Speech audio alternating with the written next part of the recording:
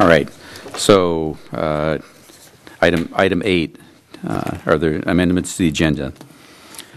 Are there any amendments to the agenda? Mary doesn't have any. Okay, No amendments. so do we have a motion to accept the agenda? I'll make, second.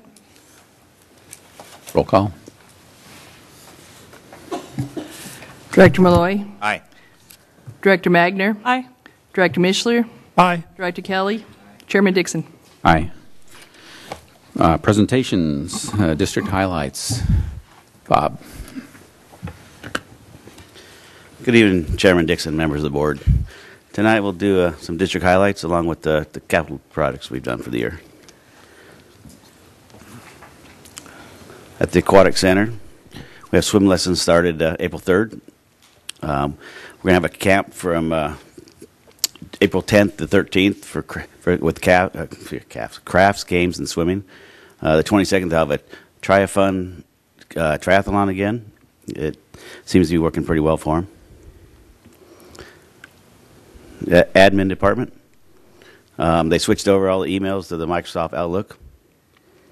Um, that's going pretty well. If you guys have any issues, please contact Mitchell Cameron.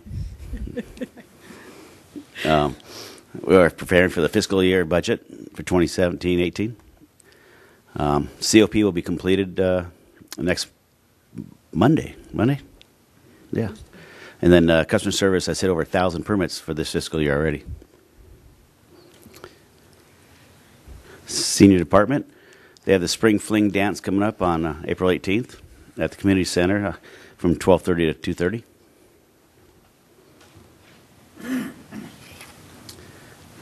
Our rummage sale was postponed. It was supposed to be this Saturday, but we postponed it to uh, the 22nd. Uh, if get some rain, hopefully we'll have it, and I'll always take the water we can get for free. Something new to the district, uh, food food share. Um, registered over 100 people, 100 boxes of food for qualifying people ages 60 and above. I think they get like 25 pounds of food um, of every month they come out. So the next next one will be uh, Wednesday, May 3rd at 9 a.m. It's uh, on the east side of the parking lot at the community center. Bob, who's providing that? Can you tell me more about that, where the, mu- where the food's coming from? Do you know? I'll let Amy take this one. We partnered with Food Share for that, and right now it's a forever grant for qualifying people age 60 and over, and it's federal income guidelines. And um, it's once a month, and it, we serve the entire county. So anyone who is a resident of the county can come. You just have to be registered. They do registration on site, and it is a drive-through program where um, the volunteers actually load the box of food into your car, and it's all shelf stable. So if you're driving somewhere, you don't have to race home and put your milk or your cheese uh, in the refrigerator. It's all shelf stable, but it's once a month. So everyone who's 60 and over and qualifies for the income levels, please come out.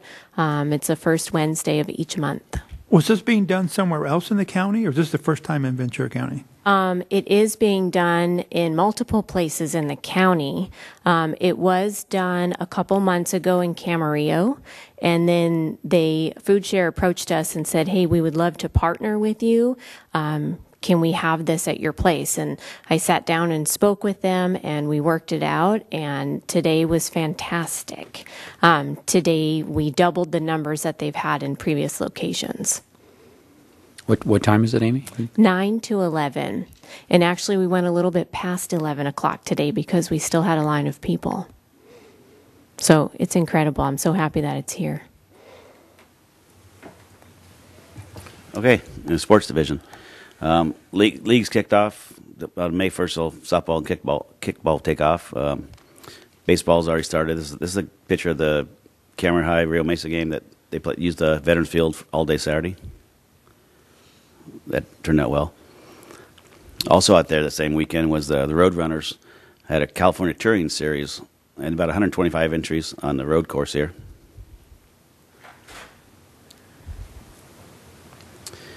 Camarillo Baseball had their opening day. Uh, with, they had a special uh, guest, Joe Borchard, and somebody special on the left, too.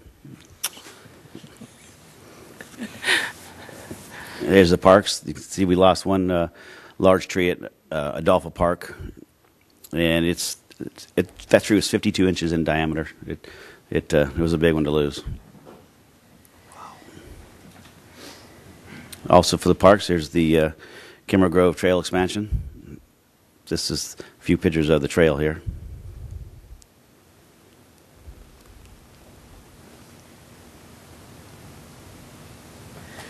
Those are actual pictures, recent pictures from the trail, Bob? Yes, ma'am. Yesterday. That's gorgeous. Then the last one shows the switchbacks up there.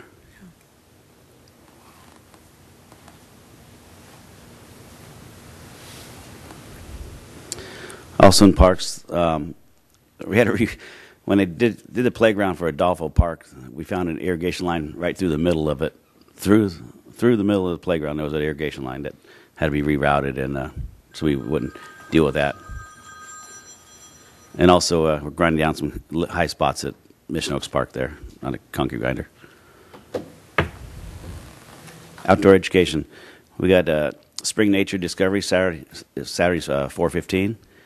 And there'll be a special needs nature discovery on the 14th. And the district's celebrating Arbor Day um, probably throughout the month of April. We'll be putting in about 30 trees. Then the 15th on Saturday also we have Easter egg extravaganza. This is our yearly event and expecting to get, you know, 3,000 people or more out there.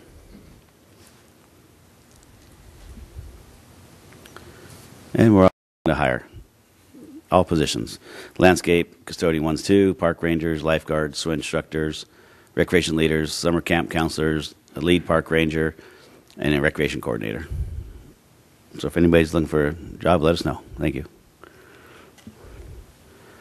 Now we'll discuss the uh, capital projects for the year.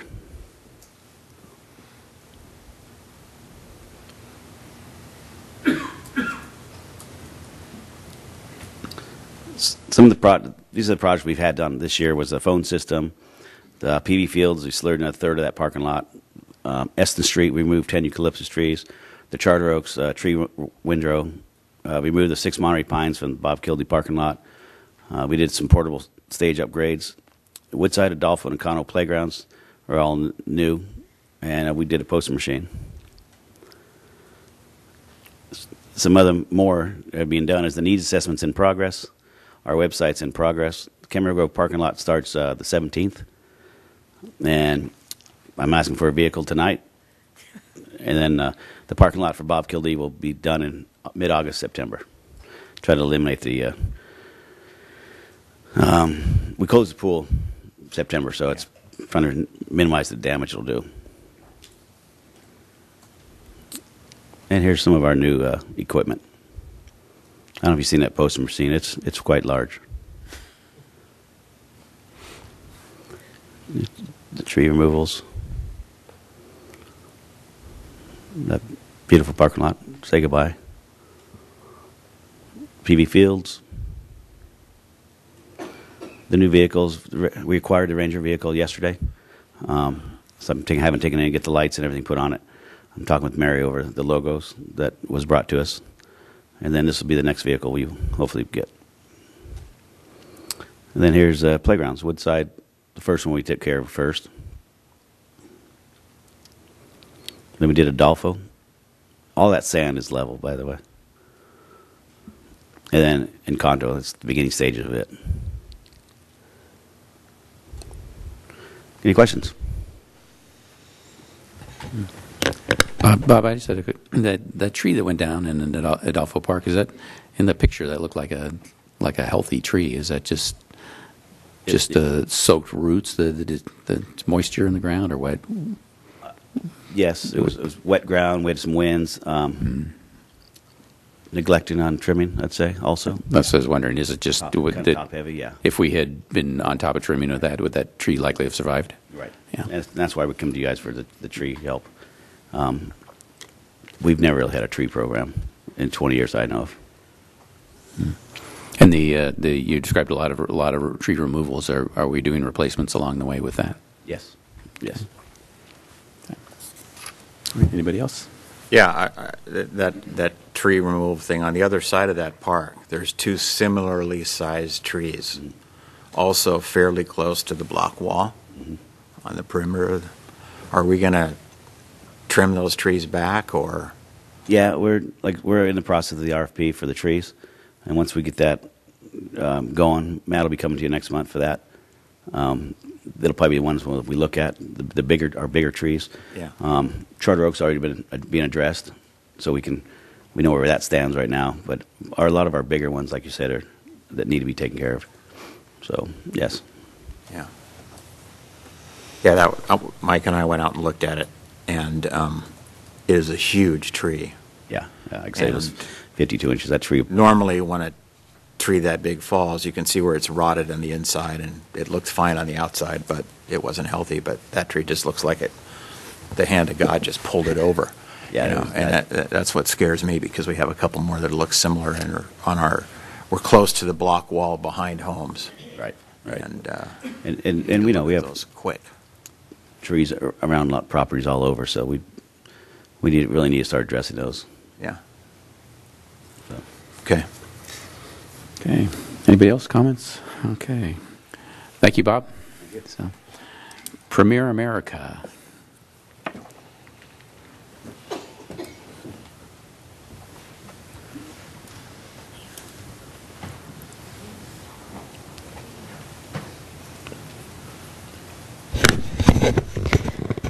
Good evening, Chairman Dixon and members of the board. I'm Amy Stewart, the Recreation Services Manager for the district, for everyone in TV land who doesn't know me.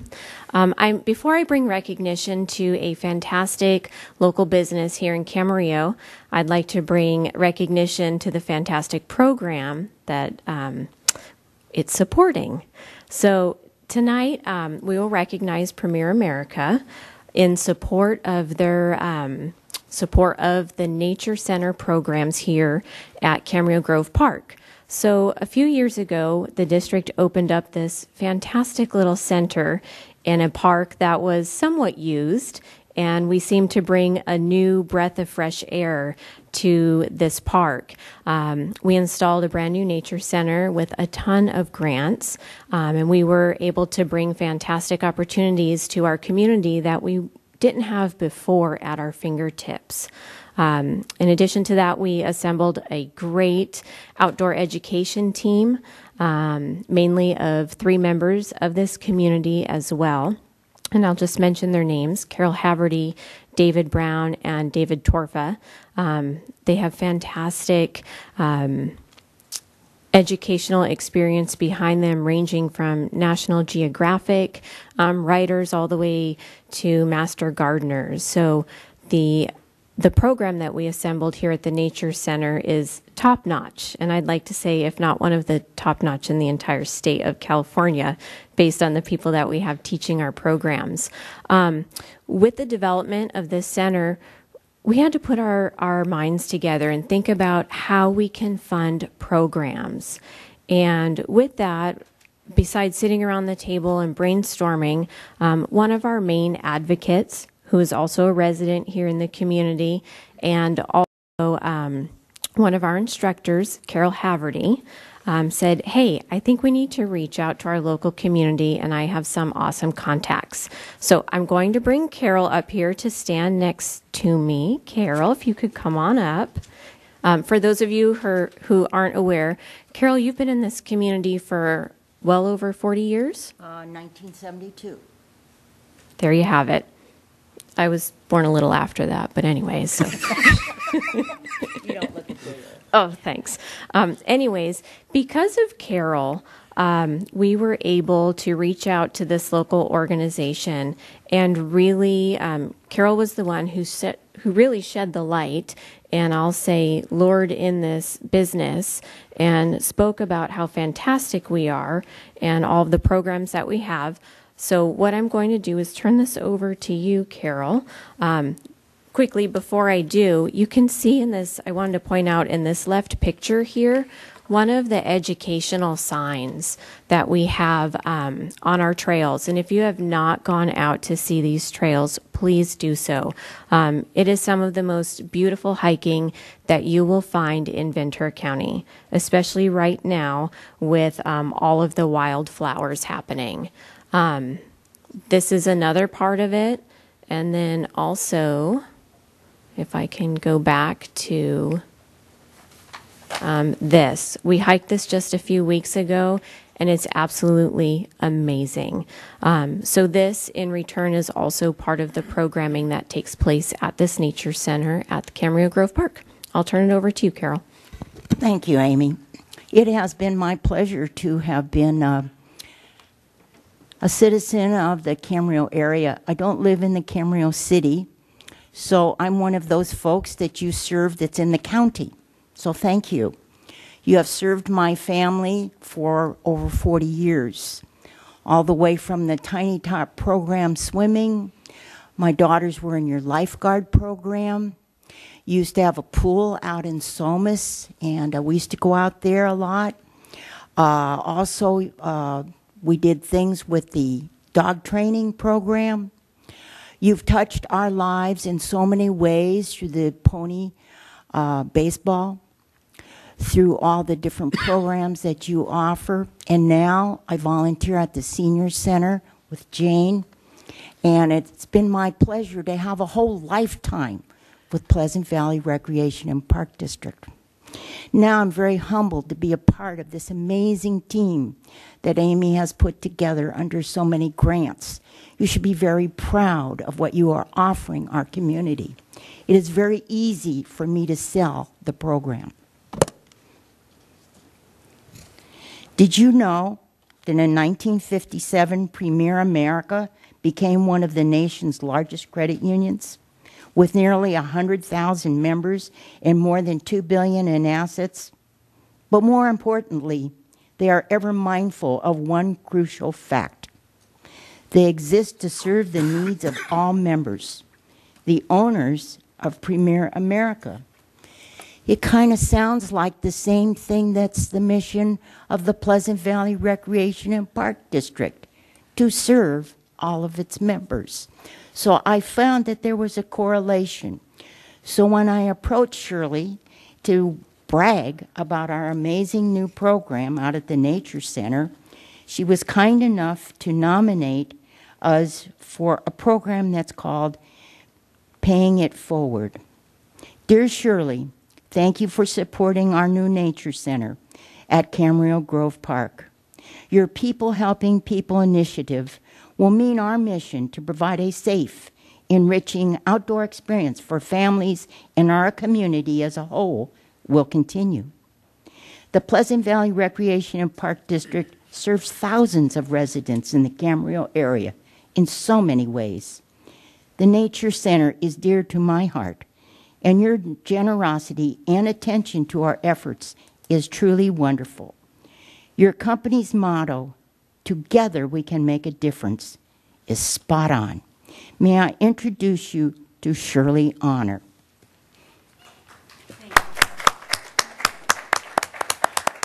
My name is Shirley Honor, and I'm the Camarillo Branch Manager of Premier America. And it's an honor to be here tonight with Carol. Thank you for inviting me, and Amy, you as well. As Carol mentioned, Premier America is always looking for ways to give back to the community. We are honored to help support and benefit. We are honored. We I'm sorry, honored to help support the benefits offered through the many programs the Nature Center has to offer. Carol is a member of Premier America. At the end of the year, she visited me at the Camarillo branch to educate me on the Nature Center and its outdoor education programs. I witnessed firsthand her passion for the Nature Center as she shared with me all the great opportunities the Nature Center had to offer.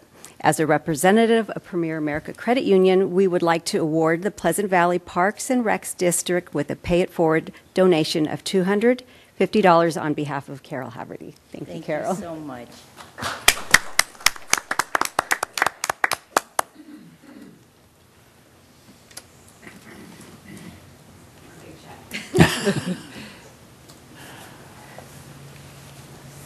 Oh. No, that's okay. Thank you so much. Um, if I could, if everyone, our board members would love to have a picture with you and Carol, if you guys could go um, right in front of the screen, and then we will take a photo. Oh, I stay out of these. Our favorite photos are with big checks.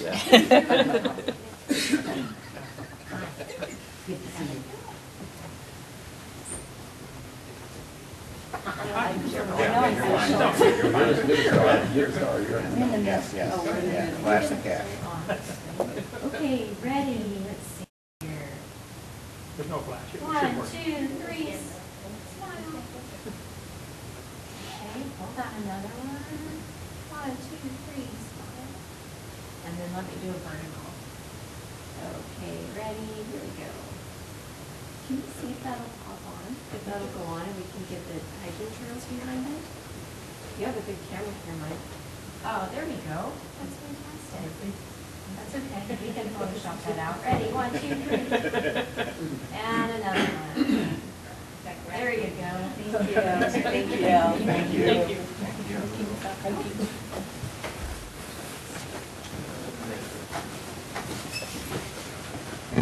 Shirley, um, we also take volunteers, so we will be contacting you to lead a hike.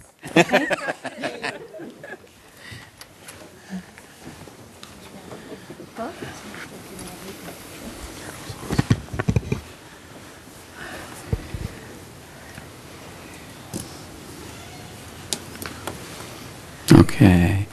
Just on uh, behalf of the board, thank you very much for that very generous donation and uh, for recognizing the, the value of the things that we do here. Thank you very much. So, um, next presentation is Camarillo uh, Girls and Softball Association. Chairman Dixon, members of the board, tonight I would like to introduce George Peraza, the president of the Camarillo Girls Softball Association, to do their annual update. George. Thanks, Lenny. Uh, Good evening, Mr. Chairman. Dr. Move this down. There you go. Two. Can you hear me now? Yeah. Can you hear me? Yeah, we're good. Uh, Once again, good evening, uh, Mr. Chairman, Dr. Dixon, and distinguished um, board members. Thank you for this invitation. On behalf of our Camarillo Girls Softball Association, uh, we thank you for your great support throughout the year.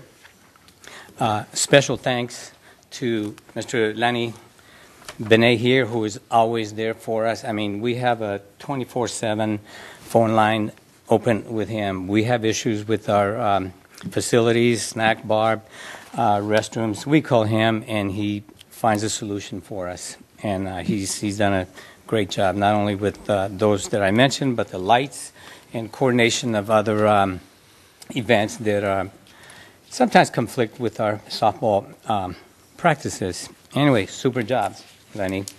And one more thing. Recently, after this um, great rainy season, Lenny and his crew prepared our fields so that we may resume our practices and games. Um, Mission Oaks Fields uh, was going to be changed to a land of uh, thousand lakes. I mean, because it was, if you were out there when we had the rains, I mean, uh, we could have skied out there sometimes. Great job, Lanny. You're the man. Uh, I would also like to thank uh, the parents and coaches who volunteer their time to improve our um, girls' skills. Uh, it's, a, it's an amazing amount of time that these people put on, and this is year round. Our CGSA uh, board members deserve great recognition and commendations for their countless of hours put into making this association the best in Ventura County. I would just like you to notate that. Um, we have 13 board members, four newly recently elected, and the rest are old. I'm one of those olds. no laughs, okay. Uh, we have three. We have three seasons um, during our during the year. We have the uh, recreation season, which in three weeks that'll uh, terminate, and we kick that off immediately right with um, our all-star um, teams and that usually runs through the first week or second week in July if we qualify through, uh, excuse me, uh, if we qualify to a state and then there's a national. Last year we we had two teams. Uh, one of our eight um, eight gold team made it out of our uh, district tournament, and our ten year uh, old team also made it out. And so, but we were we ran out of luck at the state tournament, qualif- qualifying possibly for the uh, national playoffs. So as I said, we are finishing up our um, season here in three weeks. And uh, recreation season, divi- um, season divisions, uh, we have 290 players.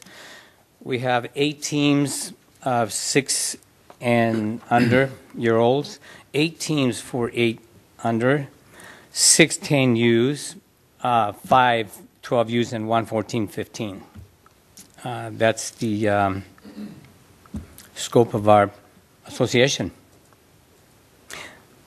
Thank you. Thanks again for the time, and hope to see you at our second Jessica Mendoza All Star Tournament. We will keep you informed on that. Look for that.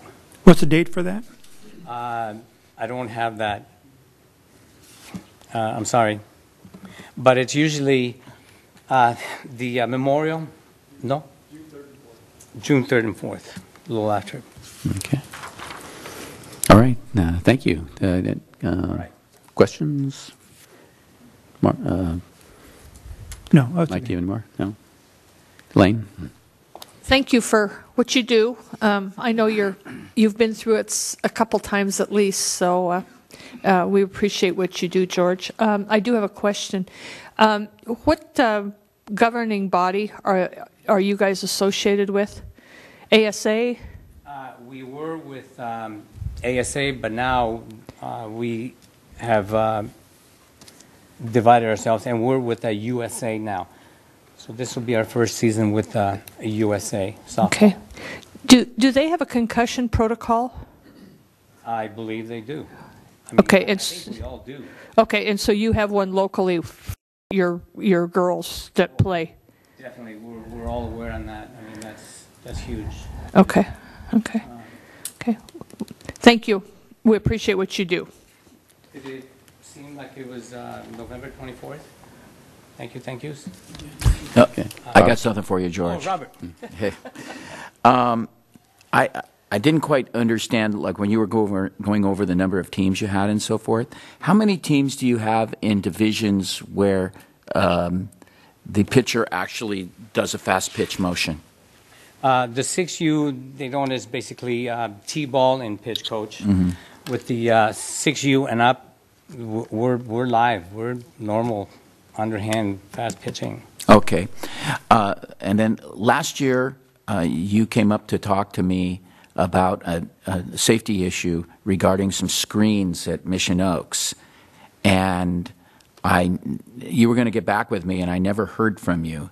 And so I'm thinking, did you send, we've had an email problem, and I'm wondering, did you send me something and, and I didn't get it, and now you think I just blew you off or something? So, No, I did not. I believe that we have had some um, conversation and dialogues with Lanny okay, you're, you've got it handled then. Yes, and uh, I wasn't going to bring this up, but we need to move forward with this somehow. If you can help us out with the, um, I know that there are engineering specifications, and uh, I believe I submitted a report as to, but that's way too expensive. I think that we can do something cheaper with that. So Lanny's got it covered then? Yes, we're, we're continuing with this dialogue. Because I've been out there and I've seen that situation where the ball co- comes up and you're kind of lucky if you don't get hit in the head. Oh, yeah, absolutely. And um, we're going to make it a mandatory rule to bring your um, uh, construction hat Okay, or so. all right. Well, Thank you for, all the board members are going to be interested in making sure nothing bad happens, so. and if we can uh, raise the, the screen there, it'd be perfect. And, and we have, we have plans. We just like you to peruse them and then um, go from there. I, I, I'll talk with Lanny uh, about the specific plans and what's going on at this time, okay? Thank you. Thank you. very much. Thank you, board. And And Mark? No, thank, thanks, George. Okay. Keep doing what you're doing. thank you. I just, George, I just had one, one quick, quick question for you. I, I just had one quick question. Um, how long have you been involved with the, the association? Uh, probably since 1980 with uh, my daughters playing. That's However, not in a um, uh, um, directive uh, position. Uh-huh. Just coaching, coaching, coaching. Okay. Okay. I just wanted to, wanted to thank you. It's, it's, it's, uh, you're, you know, they, they say that, uh, 10% of the population in volunteer work, 10% of the population does 90% of the work, and you're obviously part of that 10%. So thank you very much. So, Thank you. um, BMX. Chairman Dixon, members of the board, tonight I would like to introduce Andrea Huvard, the operator of the Freedom Park BMX track. Good evening. Chairman Dixon, all of our friends, here I am, um, year number nine. I tried to get some new pictures, right, for you. So here we are. Um, who, who's moving this along? Am I? Right click? Oh, I just clicked too fast. Okay, so here's a little bit of history. Um, 2017 will be our, our uh, 10th year of operation. And this is my then and now. Um, that's Caden Ziegler, uh, and he was eight, and that was Levi, and they were four. And then last night they were out there making a mess with a hose, and now Levi's 11 and Caden's 15. Um, so I'm going to convince you that our retention rates are really low, um, but in some cases uh, they're very high. and we thank Caden Ziegler um, for for a lot uh, that he and his family have done. Um, he is 15, which means in May he's getting a driver's license, which means I, I hope we um, see him again. So here we are. Here's our summary of our programs. Of course, we have local racing, we have training, practice, birthday parties, camps, and school events. And this is these are the same programs. Um, we're trying to enhance the programs, coming up with new things, and I'll I'll talk about a couple of things that we have um, going on. So this is our everyday local race. Could I, um, could the video play? That's a video. We're getting pretty high tech. Yeah, there you go. So I was just going to talk talk over this. This is what we do every day, basically. Um, well, it's kind of what we do every day. But there's a couple dads standing out there. We have, and I'll show you the numbers. Um, we race two days a week. BMX um, racing, we our sport is BMX racing. It's not BMX freestyle. It's not BMX jumping. It's none of that. So we we do racing, and this is a video of a race, um, and it's 30 seconds long. And that's really how long it is. Our track is 900 feet long. With the corkscrew, we, we added, um, the corkscrew actually got us to 900 feet, which was very important to be able to say that we had a standard length track. Um, but it takes about 30 seconds, and we race, and mostly the kids play around, but we actually hold sanctioned races uh, two days a week. So we also have a lot of training. Um, we've learned that retention, that once the kids can get over um, the hump, we know that it's hard to keep kids interested in any activity, whether it's piano or art or any sport, if they're just no good at it. So we try to get them lots and lots of training opportunities. We have new rider clinics, we have intermediate clinics, expert. Right now, there's an expert clinic going on out there. We have private training. We have two coaches, Chantel Blanchet and Renato Silva, that are both USA BMX um, uh, licensed coaches, and they're part of the USA BMX coaching program, which is only about two years old. So we try to get lots and lots of, of coaching going on. Uh, we have a new program called the Mighty Mites, and um, yeah, so we were having like lots of little tiny kids, and they were only like four and five years old. And we also call them the Gnat Pack because they're literally like gnats flying around the track, and their parents are running all over the place. And I said, hey, hey, stop. We need a lesson. We need lessons. So they sign up for a four week program. Um, Adeline wears her tutu, and Marley brings his dinosaur. Um, these kids are all four years old. The class is full. Um, and yeah, so, but what we're trying to do is get it so they're safe. So remember, we have Adeline and Marley on the track at the same time. We have Levi and Caden, and they don't understand that you can't go backwards, you can't cross the track, and their parents are running around in flip flops with the baby on the hip. and so I thought that this was a good program. And they get a t shirt that says Mighty Mites. That's the best part. Okay, so then we have camps. We do eight, week, eight weeks in the summer, two weeks in the spring, spring break. This is an old flyer from last year. Um, camps is a you know, camp, camp is interesting. It's a lot, a lot, a lot of work, um, but it's a way that we can get kids racing. A lot of kids just sign up for camp and then they become BMX racers after. A lot of BMX racers don't sign up for camp, and you can tell by that picture. Most of those kids are in, um, they're not in the cool clothes. They're just in their jeans and t-shirts and tennis shoes, and then um, so they're not actual BMXers. They just come for camp, you know, mainly because it's cheap, and uh, you can drop them off all day. yeah, um, we have one big Andrea, event. i- is that information on the last slide? Is that on our rec guide? With all those dates and times and?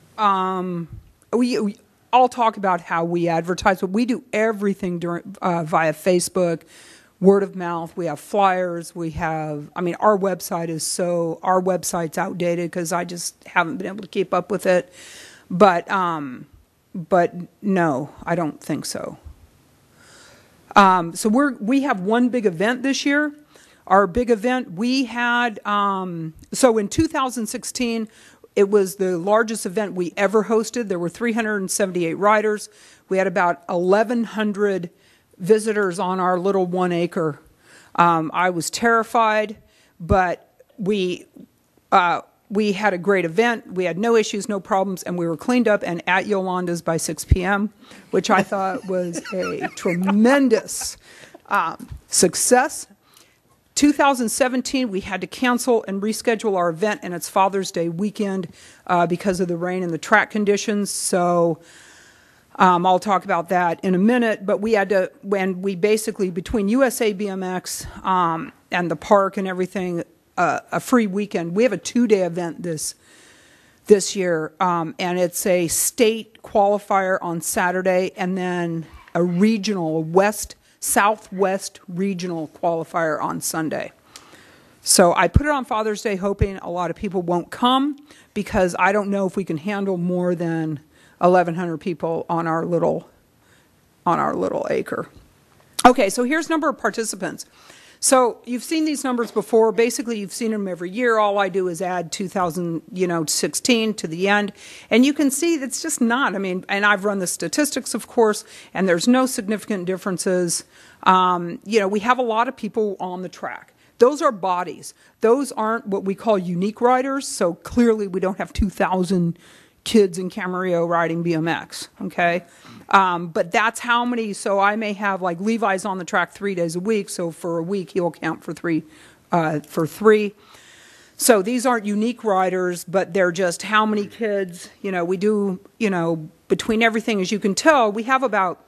Uh, twice as many others as we do racers. So we have a lot of kids that come practice. We have a lot of birthday parties and clinics and all that stuff.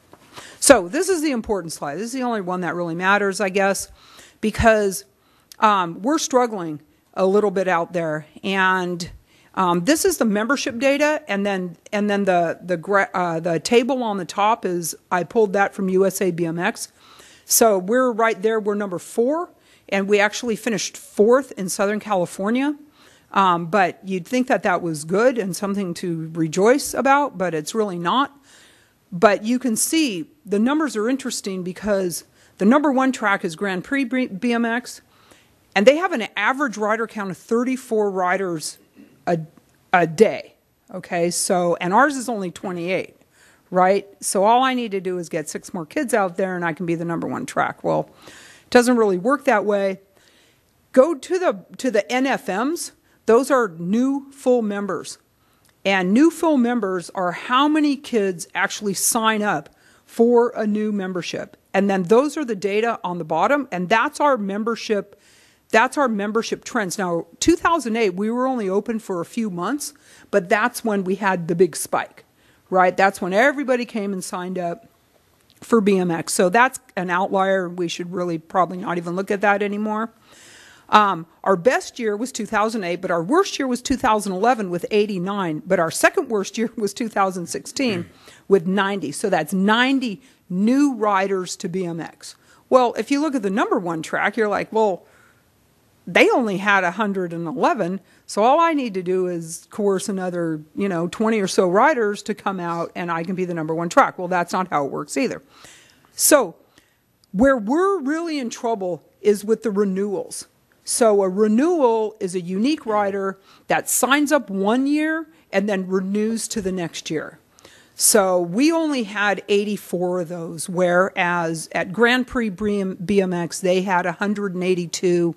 Bellflower had 202. Whittier Narrows had 152. And e- even Sycamore had 100. Um, but they, but you can see that they only had 46 new full members. So they're getting their members to renew, while as we're really struggling on that on that retention side.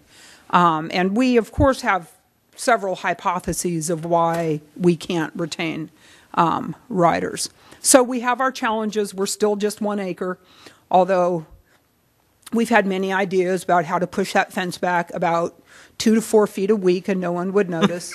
but we haven't done that. Um, uh, we we canceled the weekly grounds crew because of our budget. You've seen our budget. I thought you know that was a good place to cut. Um, retention, just keeping those families. You know, BMX is a very high technical sport. Um, it's very technical, and um, so what what I've really tried to do is really enhance the coaching part so that those kids so they can get over that hump of being a novice and an intermediate, get into those expert ranks, and keep racing. I mean, some of them, you know, I asked people, "Why you quit?" They said, "I was too hard for Johnny," and and there's the only way that we can keep Johnny when it's too hard for Johnny is to get them coaching. Um, equipment fear. We have bike rentals. Um, we have, you know, we have bike rentals and we have nice bike rentals so that so that the equipment is not a barrier to entry. You know, a lot of the people they go out there and like, oh, this is so expensive, blah blah blah. I'm like, no, it's not. Fifteen bucks. Here you go. You get a really good bike and they can ride it. Um, we compete with larger facilities, and of course, we compete with traditional sports. So um, we actually have real financial challenges. Um, on the opening day, we were we were in the red, thirty six hundred dollars, and because I still we didn't open. I'm going to talk about the rain, um, but you know we still had we weren't open for months. I, I can't even remember when we opened. Um, we had to pay rent, electric, porta potty, and all of our fees and whatever. So I had to keep it open. I couldn't just stop paying everything. Um, so we were $3,600 in the hole to start, and you can see what we started with um, from last year. Um, we experienced a 30% revenue decrease um, from 2016. Um, you can see that on our financials. So that that was a major hit. The track was absolutely destroyed in the rains. Um, to remain open, we had to rebuild the track. We the track was basically unrideable after La Nina, El Nino. I don't know who who was responsible for that. Um, so we had we we had a we actually had a board meeting, which is me, Richard, and Frank, and um, we said, "Are we gonna are we going to go or are we not going to go?" Because I mean, we could we could just take the lock off the fence and walk away, and we decided we'd already put in ten years and what's another thirteen thousand dollars. So. Uh, so we had to rebuild it just to get it rideable. So that's what we did last week. Um, so we it it costs ten thousand dollars to to rebuild. The facility needs constant work, and we still need good dirt. Um, and we have a we have a squirrel problem. Um, so if anybody knows how to abate squirrels, because what they're doing is that the squirrels, the track builder last week said that our berms are hollow because of the squirrels. Yeah, okay. So this is what Freedom Park BMX looked like. Um, yeah, we, uh, the kids really wanted to have canoe races and, or bring their jet skis or any boogie boards, anything. Um, and it, it was just, that's what happened to the track. We have no drainage out there, and in a normal year, it's not that big of a deal because we do have drains that are built into the track, so the water just goes in those little areas in between the straights. But everything was filled, and we have nowhere to pump the water, so we pump, um, we pump into the that lot next door because we're not supposed to pump on the street. but we're not really supposed to pump anywhere, so we pump into gravel pits that we dug, and we pump into trash cans, and we pump between 7 p.m. and 7 a.m. when no one notices where we're pumping, and it's water, and it was falling from the sky at great rates, so we didn't know where the water came from. Um, so yeah, so we had no, we have nowhere to pump, and basically the track just, that was it. It's kind of fun. Okay, so that's what we did. We rented a bunch of heavy equipment. We hired the guy in the yellow shirt. Levi picked up rocks in the wheelbarrow, and just like that, we were open seven days later, and you know, so, but we didn't do we didn't do the top layer um, of dirt. So, it, but it's it's rideable now. I mean, they're out there riding it right now. So, we did a little TLC, a little CPR, and here it is. Okay, a smooth surface requires high quality dirt. That's our next step. We really need to let the track pack in, and then after that, we're gonna um, maybe in June, um, we want we're gonna need to top the you know top it somehow. Okay, so this is our main competition. These tracks are going up all over the country. Um, USA BMX has made a really big push to build these kinds of tracks. This one's in Grand Junction, Colorado, which has about the same um, population as Camarillo. It's- It's on the western slope of Colorado. Um, as you can see, they're big, big, long tracks with asphalt turns and shade. Um, but And how many acres is that, roughly? you know, this this facility is not the whole like they're in a park that's really big, but within their fence, it's under um, it's just around two acres. So it's not the track footprint isn't as big as it looks. It just looks really big. But they just have a staging area, and then they have, um, you know, they put some grass in to make it nice. But these kinds of tracks are going. But this is an 1,100 foot track. Ours is nine, and we barely got ours to nine with the corkscrew. Um, and we'll see you at the community BMX track. Okay. Thank you. Um, questions? Uh, Mike, you want to start? Yeah, uh, thanks for coming. Yeah, um, you always have, I think, the biggest bang per square foot anywhere in the system or anything I've ever seen anywhere. I'm always amazed uh, when I go by there how much stuff you can cram into one acre. Um, We're pretty. I, I'm, I'm expecting you to go multi-level next and and have a multi-tier system and Well, we kind of did with the corkscrew and the yeah, tunnel. yeah, yeah. And now But, we uh, built a bonsai. So, okay. yeah. Okay. but no, I, yeah. Um, and if you have, I guess, you know, you're working with staff or if you have ideas or is our staff, I guess, with gophers out there, I guess we're, we're trying to clear up our gophers. Is it goph- gophers or ground squirrels you have? I think we have ground squirrels. That's what it sounds like. Okay. I've offered the children five dollars per carcass. Oh. Uh, I've only gotten two though, and I know there's a lot more. So Okay. yeah, Okay. it's um, but the but the I didn't know that the berms were hollow. I mean that could be a problem. Okay. Well, thank you for all you're doing and stuff. You're welcome. It's fun. Elaine? No? Bob? Once again, I was entertained. No, I, I I sure wish we could get more of that property. It's one of my major frustrations. You know what though? I think I've kind of I think we've kind of um that this one acre requires a lot of maintenance for us. Yeah. And so I keep saying that it's a blessing and a curse.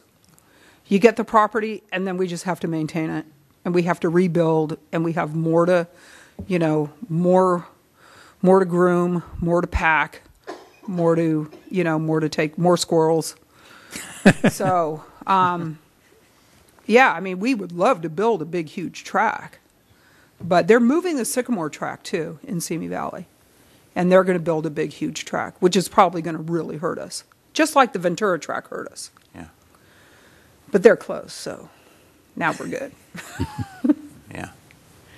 Well, I, really appreciate what you've done I for mean, this it's still a fringe sport, you know. It's for still this community. Well, oh. for the kids that are into it, it's huge. Right. And that age group really needs to be focused on something. And this is great, you know, because we don't all want to bat a ball or kick a ball. And, and um, the mechanic, I, was kind of a mechanically oriented kid. I was never big enough to be good at the ball and stick sports. But if there was something like this, I would have been totally into it. Well, it also attracts sort of a different kind of kid, you know? I mean, the ones that really like riding their bikes for three hours after school in circles. Yeah. So, Well, and, and competition too. and we all know those kids, very, yeah. very. I mean, it's, yeah, so.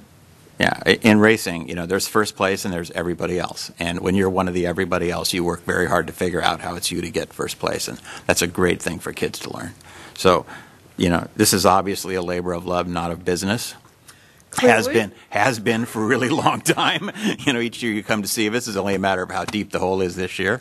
That, um, you know, it looks to me like you're maybe going to make uh, $2 an hour here uh, for, for the time that, that you and Richard put in. But the thing is, is that we can't make money if we're not open. So that was Yeah. kind of like what we decided. We're like, you know, we can, we'll never recruit anything if we don't. Yeah, but you're recruit, you're recouping something every day for yourself and the community. Thank you. That's all I have. Well, just, just like everybody else, I'd like to thank you know thank you for for the efforts that you're putting into this, and obviously financially not getting a lot out of it. It's it's uh, you can tell just by the way you present this, though, that your your heart's in it, and so there's there's got to be rewards in it for you, other than the dollars that, that come with it. But um, I wish that there is, and hope there is, if uh, ways that, that we can help promote the the program. Um, you know, maybe I don't know, if Mary. Mary, you got any any ideas or ways we can we can just make make your program more um, well known? Um, I, part part of the issue, I wonder if just the fact that you're kind of out there at Freedom Park and not in not in the center of town where you're more visible, that that in, in itself might be an issue where where kids can't just hop on their bike and ride from home and get there. You know what, So- exactly. And um, that's exactly true. You can't just hop on your bike. And BMX is not um, a drop off sport. I mean, it is a sport where the parent has to be more committed than the, um, you know, as committed or more committed than the kid because they have to drive them and then they have to sit there until the kid's the kid's done. So yeah, but I think um, I was I was admiring that new poster, um, your poster printer, and maybe I'll come by and print up some posters and put them around. All right. I saw that. Okay. Can't hide it now. Yeah, it's, yeah, it's it's a giant. That's Yes, Well, it is giant, but Yeah. Well, thanks again for everything you do, and uh, good luck. We hope to see you here again, thriving next year. well, you know, my kid, my youngest kid, is 11. So I figure we have at least about seven more years. Oh, good.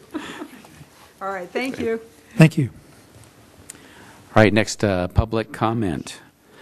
Um, each member of the, the public is allowed three minutes to address the board, and uh, if you would like to address the board, we would ask you to fill out a speaker's card and give it to the clerk of the board.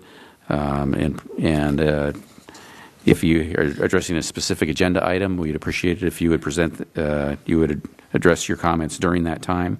If you have general comments, uh, this would be the time to present them. And I have uh, one speaker's card, and that is from Bob Garcia.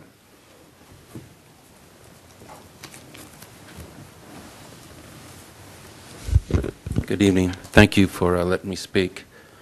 I think we're going about seven or eight months. I've made a request about making a diamond dedicated to Airman First Class Victor Corona, who's been missing in action over North Korea since 1952, a Camarillo resident. I have had some conversations with two of the board members individually.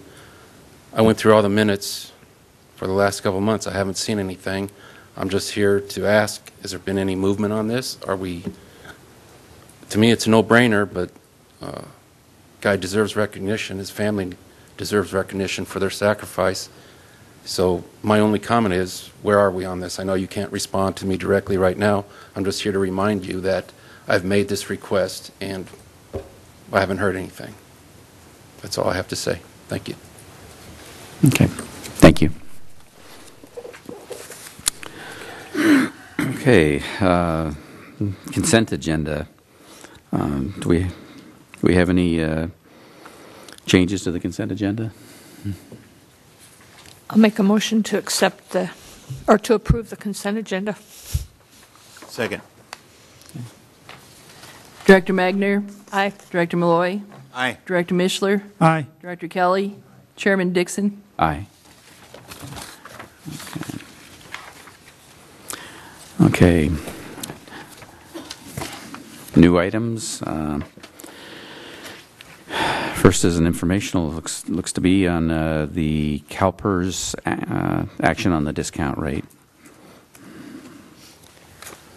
And Mary, are you presenting, or, or Leo? Okay. Chairman Dixon, members of the board, tonight I'm bringing to you an information item on the CalPERS discount rate and the impact and the changes it will have on the district in the future. This is also known as the unfunded liability. In 2012, CalPERS lowered the discount rate from 7.75 to 7.5. In 2013, they changed the amortization and smoothing policies that spread the rate increases or decreases over a five-year period. In 2014, they adopted a new demographic assumption that showed retirees are living longer. And in 2015, they approved a new funding risk to lower the discount rate incrementally during good economic times. A definition of the discount rate is what CalPERS assumes they would be earning with their $304 billion investment.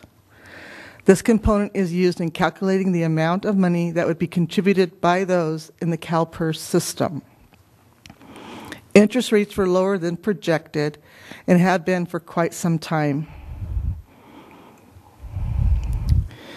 Did you mean to say uh, return rates? I'm sorry, excuse me? Re- the Return, the, the the rates there? The rate of return has been Yes. lower, yes. Yes. Currently, more money is going out than coming in. CalPERS has a low funded status. There's a decline in the number of active workers supporting the retirees. And they have the low return investing environment. and Their rate of return is lower than they projected.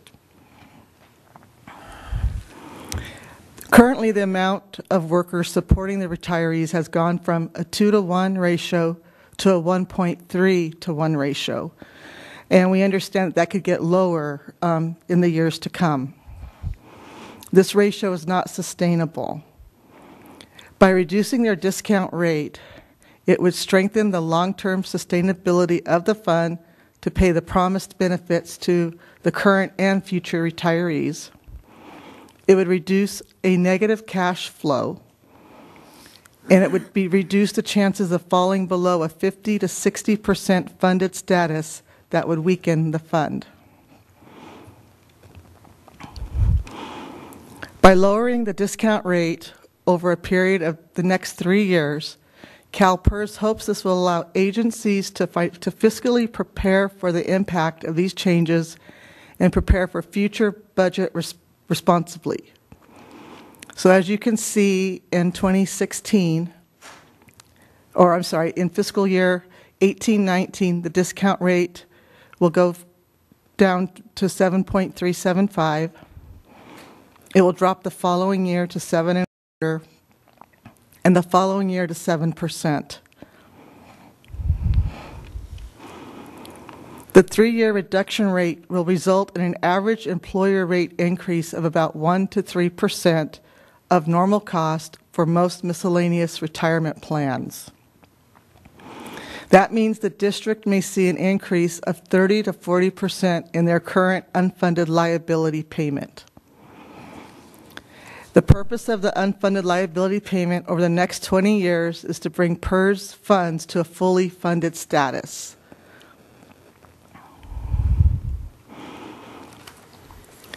CalPERS was recently contacted because staff had noticed the smoothing schedule that I had learned about at a PERS uh, conference two years ago had been replaced with a 30 year amortization schedule, showing an increase every year through 2031. I contacted uh, CalPERS actuarial department, and they explained the smoothing schedule was no longer in place and had been replaced with a 30 year amortization schedule, which you can see in its full entirety on page 29 of your uh, board packet. So, in essence, our responsibility for this unfunded liability as of uh, June 30th, 2017, for the two and a half at 55 is 4.1 million. If we pay it out through 2046, we would end up paying 8 point, over 8.8 million.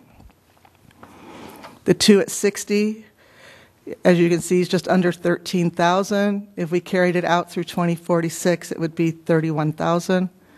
And the two at 62 would be 1,400. We carried it out, it would be 1680. The unfunded liability payments, again, this is on start page 29. This is just 10 years worth of the information to fit all of it on there. I, it would be you wouldn't be able to read it; it would be too small. But as you can see, the payments go up incrementally, and in 2026, 27, it exceeds $400,000. The fiscal impact for uh, fiscal year 17, 18, these are our payments. For the two and a half at 55 would be 239,000. The two at 60 would be 961.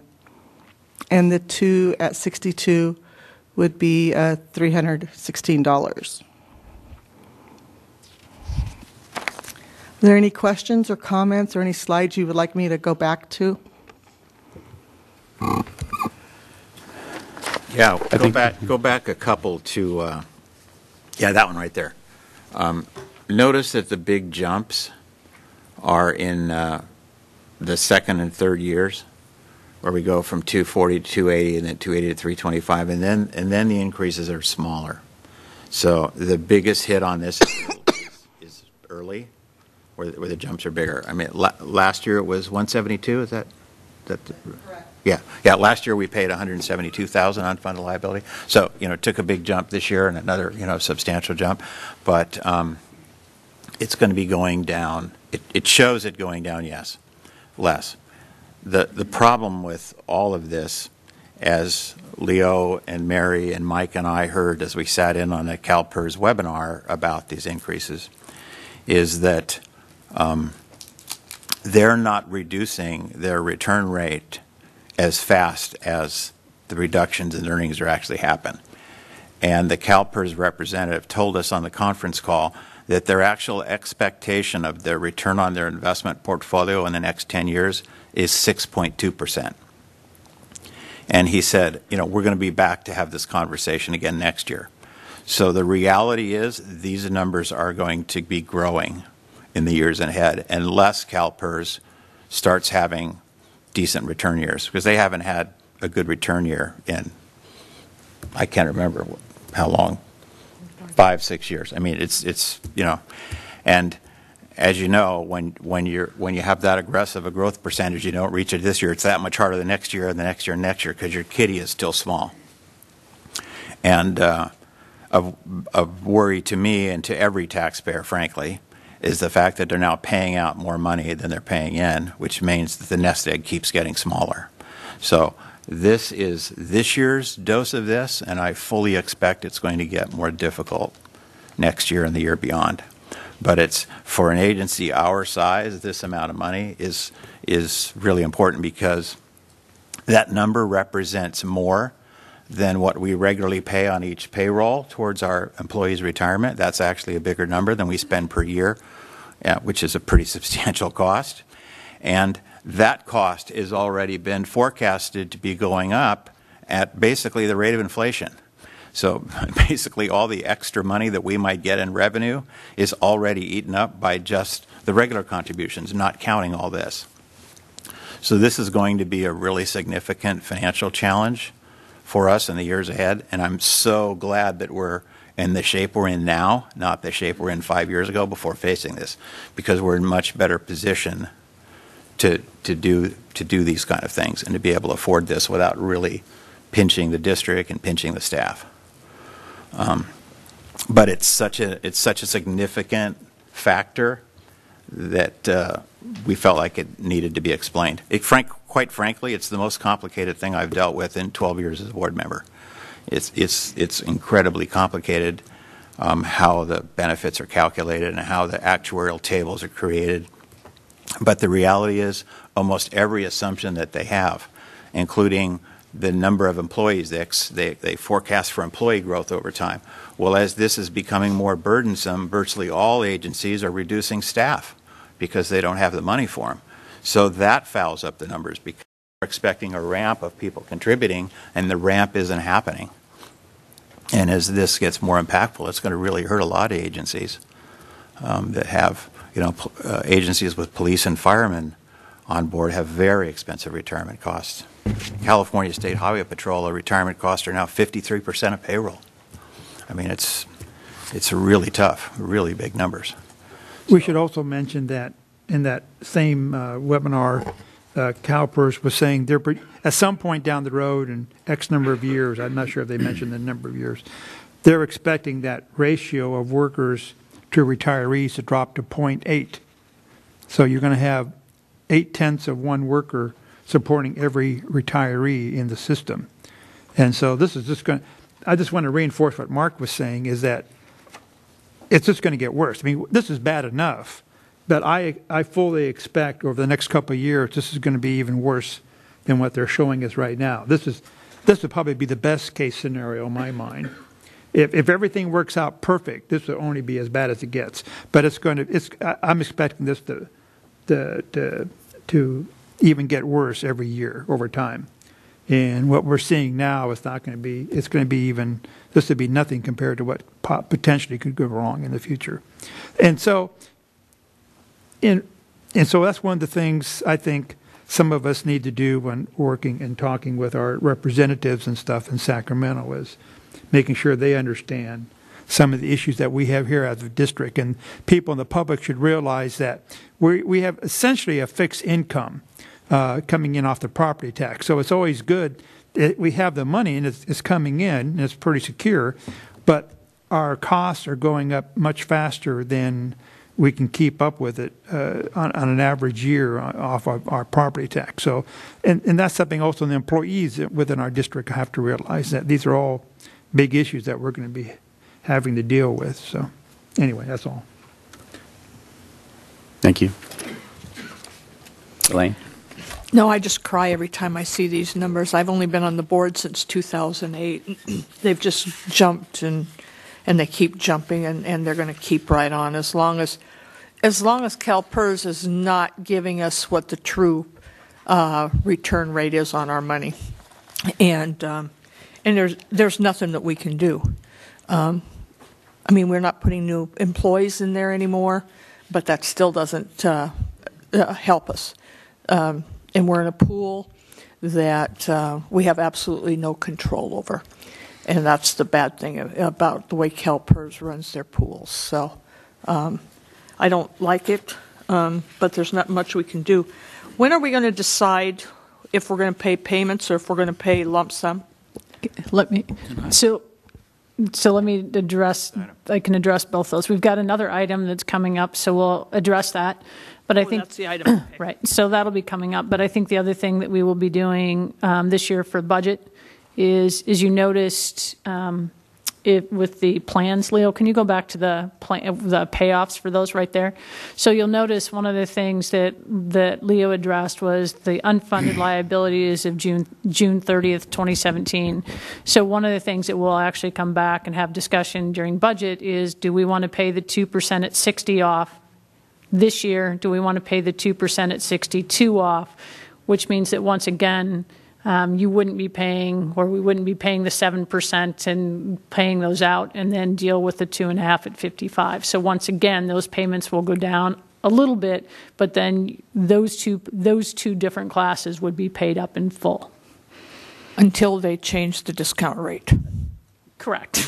So they, the unfunded, I mean, let's, until let's next get it year. straight. That doesn't pay it up. so- Correct. Well, That would pay off the unfunded liability as it sits today. Yes. So if they're, next year, as Leo suggested, it, it is going down, then you would only have that difference in between. You wouldn't, you wouldn't keep accumulating on top of that. This doesn't account for the- it going down for the next two years? It's based on what CalPERS gave us for the evaluations for this year. So when they come back with new valuations, I'm sure they'll come back with the new disc, with the, with the new updated information. Yeah, well, one of the things that isn't explained in this chart here is that the two and a half at 55 was the plan for the employees for the first 48 years of the district's existence. And the two at 60 plan, we had, I think, three years of, of two at 60 plan. And then in, when PEPRA was passed in 2013, the two at 62 plan was created. So we essentially have very few people in those two plans, which is why the unfunded liability is so small. But every dollar of unfunded liability that we retire is a dollar we're not paying 7.375 interest on this year. So, you know, to the extent that we're comfortably capable of doing it, retiring this saves us money over the long haul. Because you can see over the 30-year period, 4 million turns into an 8.8 million dollar bill. Correct. So, Bob, go ahead.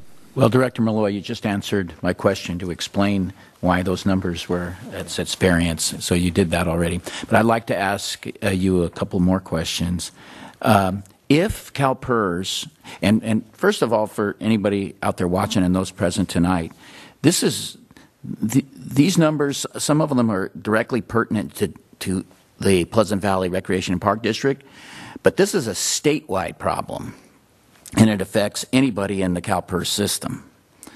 And so my question is this: If, assuming that the number regarding, I think it's 1.3 uh, persons paying for the retiree is, let's just- assume that one is static, and it's not going to go down like Director uh, Mishler uh, suggested.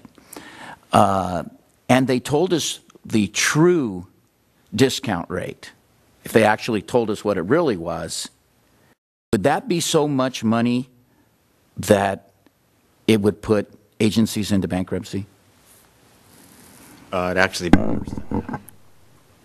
It's, it would sink the ship of. What's happening here is CalPERS is trying to take a long-term challenge Speaking of Mike. and, and they're trying to take a long-term challenge and address it in manageable bites as the data comes in and is confirmed. Because, you know, they, they have some years where they get 13% return, 15% return. You know, they've had that happen. Um, so, you know, it, it, is, it is absolutely possible to have some great investment years and to make up some ground. We just haven't seen one of those in a while. And you know the the the nature of pension plans is that your goal is to have three of the four dollars you'll pay out to retirees come from investment returns. Uh, Now we're trying to get to two out of two out of three dollars coming from investment returns, and so the less it is, the more agencies like us and our employees have to contribute. Our employ, you know, some of our employees are contributing twelve percent of the paycheck. I mean, it's burdensome on everyone. So you know, it's just it, it, it, the promises have been made that are just very difficult to follow through on. That's just the reality of the situation. And if the number goes to, uh, was it 0.8, uh, like uh, Director Mishler suggests, and the discount rate is really closer to the 6.2% you suggested, what, what result? I mean, these numbers will go mushroom up, of course. I mean, but I don't, I, we don't have those calculations. So about a 1% just because we, well, we've actually talked to CalPERS quite a bit, um, one of the actuaries up there. So a 1%, if you went from 7, you know, right now 7.5 to 6.5, that under today at 4.1 would almost double. So that would be four, almost $8 million just going up if you did that today based on the actuaries that they gave us. So then you're looking over a three-year period or a 30-year period, like tripling. So yes, so I think what there is, is Director Malloy was saying, they're trying to take this off in easy bites, so you, they, so there's, so it's affordable to pay. And I don't, like you said, how affordable over the long haul, if they keep changing those numbers, I think is where everybody's struggling. So I think that's part of the conversation today. I think that's also looking at, as you were suggesting, is we're going to come back at, you know, for budgets and doing, during the budget hearings, is having some of these discussions of what that looks like long-term. So uh, to sum up then, it would appear that, as, as Director Malloy suggested, in past years, the retirees were paid with fat dollars that came from profits. And now those profits aren't there anymore, so now they're cutting into the muscle and, and, and having to pay it with that, which is why we constantly get these increases. And even though we have these numbers today, it, it's very likely that next year or the year after that, we're going to be met with another challenge of a similar nature. Is, that I- I pretty much believe sum it up? web- Right. In that webinar, if I remember correctly, there were basically, somewhere in there, I think they stated, or maybe I read this, the CalPERS system is paying out more money than it's bringing in. I mean, so that this pot of money that they have invested is actually shrinking. It, the funds are coming in, they're, they're, they're taking money out of the bank to pay off the existing retirees plus the money that we're putting into it. So that, th- th- so the money they have invested is actually decreasing each year because they have to take that money out to pay the, so they're trying, what they're trying to do is catch up and make that balance out at least at some point. That's what they're attempting to do. Well, and keep in mind that when an area like that JPA in San Bernardino area defaulted, if one of our, if we were in that same pool, we are now picking up those retirees' reduced annuities. So that's not figured in here. So every time somebody defaults on their contract, if we're in that same pool, we are going to get hit one more time. Yeah. I mean, everything, this, like, like I said, I mean, the bottom line is this is as good as it's going to get. It's never going to be any, unless they get a 20% rate of return or something, it's never going to get any better than what you're seeing here. It's just going to get worse and worse every year. Worse than what you're seeing even here. But So, I'm sorry, at the end of the day, uh, as we are, as, as our coffers are being uh, rated, so to speak, that means we can provide less based on the money that we have. Because as you suggested, we're pretty much static as far as the amount of money that we bring in every year. And as they take bigger and bigger chunks, this is going to affect the services that we're able to uh, provide. Is that pretty much accurate? yeah, yes. Well, I, I hope not. This, is just a challenge. This doesn't mean we can't get things done. This isn't, doesn't mean we can't grow our programs. This is just going to be a challenge. And, and it's a significant one, which is why we're discussing it. But I absolutely don't agree that we can't keep meeting our mission and doing a better job because of this. It's not that paralyzing. You know, five years ago, it would have been. But we're in much better fiscal shape now. We had a really substantial capital uh, improvement plan, as Bob showed us earlier. We'll continue to have that in next year's budget. But, you know, th- this, this is lurking, and, and it is going to get tougher. And, it, you know, it's an employee-based cost that we get nothing from, and frankly, our employees don't get anything other than what they've been promised from. So it's, it's just, it's just going to be a challenge. But Camarillo continues to grow. Our property tax base is growing. You know, Prop 13 doesn't, you know, the nature of Prop 13 with it maxed out at 1% a year doesn't keep up with the growth of our expenses. But we've found ways around that since 13 was passed, and we will continue to find ways to do a better job and be more efficient. And we're, we're, we're, this is not going to prevent us from succeeding. And I don't, I don't want anybody to go away from this conversation saying, "Oh, they're throwing in the towel because they have these huge numbers." It, they're just numbers, but they're numbers that we can we can work with. We just need to be aware that they're there and plan for them. That's all. That's what this is about. And I totally agree with Director Malloy. What I'm suggesting is watch who you vote for. Well, and I think in the big picture scheme of the thing across, and Elaine said it right, all across, every agency that's in, you know, most of the agencies in the state are part of CalPERS one way or another, a lot of them. And most of them are. And we're being hit hard. There's other agencies that are going to be hit even worse than we are because they don't have, they're, they're even worse shape than we are, I mean, in terms of potential and stuff. And so there's going to be, I think, a lot more feedback pressure on Sacramento coming in from across the whole state on this. So they're going to, because right now they're only they're only turning in a couple. There's many knobs. There's no reason to go into detail, of course, but on all these pension things, there's many knobs and stuff you can twist and turn to to figure out what's going on and all different options and capabilities you have. And they're only turning a couple right now, but there's a lot more they can get into if they really wanted to fix the system. They're not trying to fix the system. They're just trying to keep it from sinking right now. They're just trying to patch holes in the ship and keep it afloat. But okay. We're almost ready to move on to the next section, but I just wanted to get, uh, have a few more comments. And one of them was uh, Director Kelly was asking, that, you know, does that, you know, what what does the effect of this have on other districts if all these things come to come to come to pass, and will districts go under? And I, uh, districts have gone under, and I think we can probably potentially look for more of that. Um, and when that and when that happens, that's a that's a, a, loss for everyone, the community that depends on those agencies for the services, the employees that whose pensions are are affected, uh, you know, the taxpayers who have to either come to, to foot the bill or suffer from from a, a, loss of services. So it's a it's a it is a big issue, and um, I don't think that uh, our, the the public has been fully informed of this. I think that our press has not done a good job, and and this this ought to be front page news, and um, and, and out in public discussion. Uh, but anyway, we are we are going to continue this discussion on the, our next item, I believe. So. Okay, so we will move on to the next item, which is lump sum versus monthly CalPERS unfunded liability payments. Chairman Dixon, members of the board, tonight I'm going to ask the board to give direction as far as to making that um, unfunded liability payment in a lump sum payment or if we're going to do a monthly payment. As we uh, discussed, uh, the poor investments that CalPERS is experiencing in their um, or on their rate of return, uh, we now have an unfunded liability obligation. We have the option of paying that uh, annually or monthly.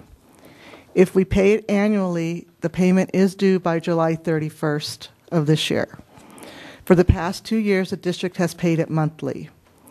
And the interest rate for the fiscal year 17 18 on that unfunded liability would be 7.375%. The options for the fiscal year 17-18 is a lump sum payment of 232,344 or a monthly payment of $20,000, which that monthly payment over times 12 payments would come to 240,000, making the lump sum payment I'm sorry, if we go with the lump sum payment over the monthly payment, we would be saving $8,500. If our revenue and expenses are status quo through December 31st of this year, and we make the lump sum payment on July 31st, more than likely we would need to borrow from capital to meet our financial obligations until the December tax apportionment came in. That could possibly delay a capital project or two, and we would need to be cognizant of our spending between um, April and December. But it, by borrowing from the capital the amount that I think we would need to borrow, which would be between 100,000, 150,000. The interest that the general fund would receive from or owe to the capital would be $12. So, with that being said, uh, if the board would uh, give me direction as far as what their wishes are, um, because I do have to notify PERS also by May if I'm going to be doing a lump sum or a monthly payment. So just to just just to be clear on that, if if we borrow to from the capital fund to make this payment, our savings would be about eight thousand dollars, and our losses in interest would be about twelve dollars. Yes. All right. Okay. And it's actually not, in my opinion, likely that we'll have to borrow because last year we gained uh, like $900,000 in cash flow and we almost made it. I mean, we were within days of making the, the, paying all our bills through December. I- Let, me- go back to the, kind of the beginning of Park District Economics 101. We get 80% of our revenue from property tax checks. We get them twice a year, December 20th, April 20th. It's very easy to make the December 20th check last to April 20th. It's very hard to get the April 20th check to last to December 20th. I mean, just imagine if you're a household, you got two checks a year. So December is when the time when we go cash thin. If we pay the money July 31st, the whole amount, instead of making the payments, and I believe the payments are 10 payments, not, not 12, is that, is that correct? No, it is 12. 12, okay, they do it in 12s. But by December, we would have already made the August, September, October, November, we would have already made four of those monthly payments. So we don't have to cash flow the whole 200,000. We only have to cash flow about half of it. And even if we don't, the cost of, the cost of borrowing it from ourselves is essentially nothing. And the cost of borrowing it from CalPERS is very substantial. And that interest that we pay to CalPERS doesn't knock down our unfunded liability at all. It's just, that's, that's their earning rate. Basically, when they have to put out money, which is how they look at this, they, they look at us as at, us owing it at the end of the month, they want their investment return on it. And um, I- to me, that just makes no sense. That it makes much more sense to pay the full amount in July, and then, but just understand that you know it's kind of a prepaid expense when we get to December when it gets close. But th- this is a really simple decision, but um, our staff makes really conservative decisions, like they did the last two years in paying in monthly payments, because the ability to make it to December was very much in question. But we're in so much better shape now. Mike and I and the Finance Committee felt like this was something that the board as a whole should address and understand how we're doing this and why. Yeah, to me, this is a no-brainer. I mean, I'm going to recommend that we do this, and even if we come up short in December, that's, that's minor compared to the $8,000 plus they were giving, you know, that's just money we're flushing down the drain.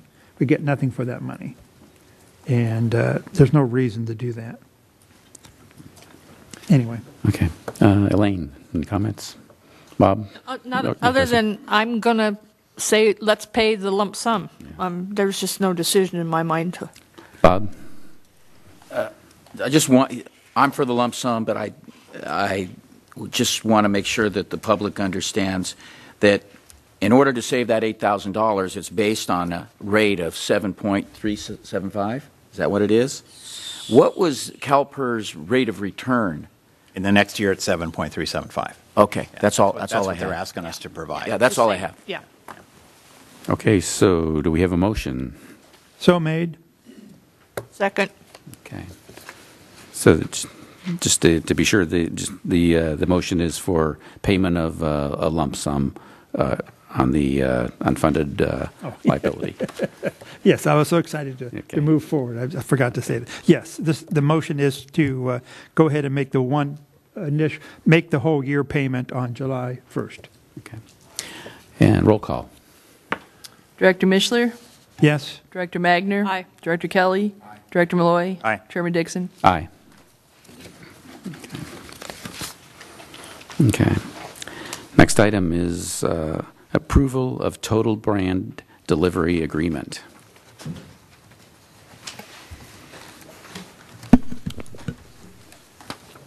Good evening, uh, Chairman Dixon, members of the board, um, Mitchell Cameron, and I'm going to be recommending that the board approve and authorize the general manager to enter into an agreement with Total Brand Delivery, um, doing business as pole positions. A little bit of background: in June 2016, the district was approached by Mark Lewis um, regarding the potential for ad revenue at uh, for and new pole pads at PV Fields.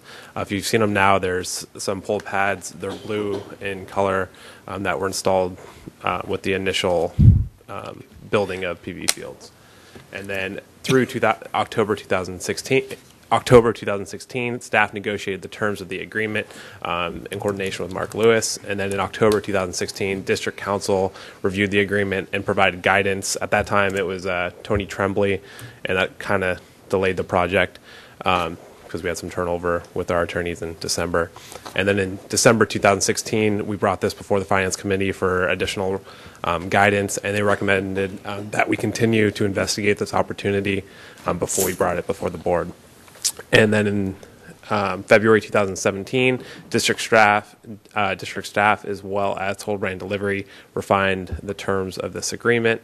And then in March of 2017, our new district counsel had the opportunity to review the agreement and provide additional guidance and recommendations, um, and that we bring it before the board for approval. Um, just a quick analysis. Um, we negotiated this down to a two-year agreement um, that would allow Total Brand Deliveries to um, rent and install 76 pole pads and covers at four of our locations: 14 at Bob Kildee, 19 at Freedom, 10 at Mission Oaks, and 33 at PV Fields, for a total of 76 um, poles and pole pads. A um, couple of pictures just to show the location. I know it's, it's, a, it's a difficult to read um, or difficult to see on the, the overhead, but I did provide them in the, the packets as well. Um, just an overhead view of the locations of the pole pads. And um, you'll see that there it's a light pole at most of these um, locations. Here's Bob Kildee, Freedom, Mission Oaks,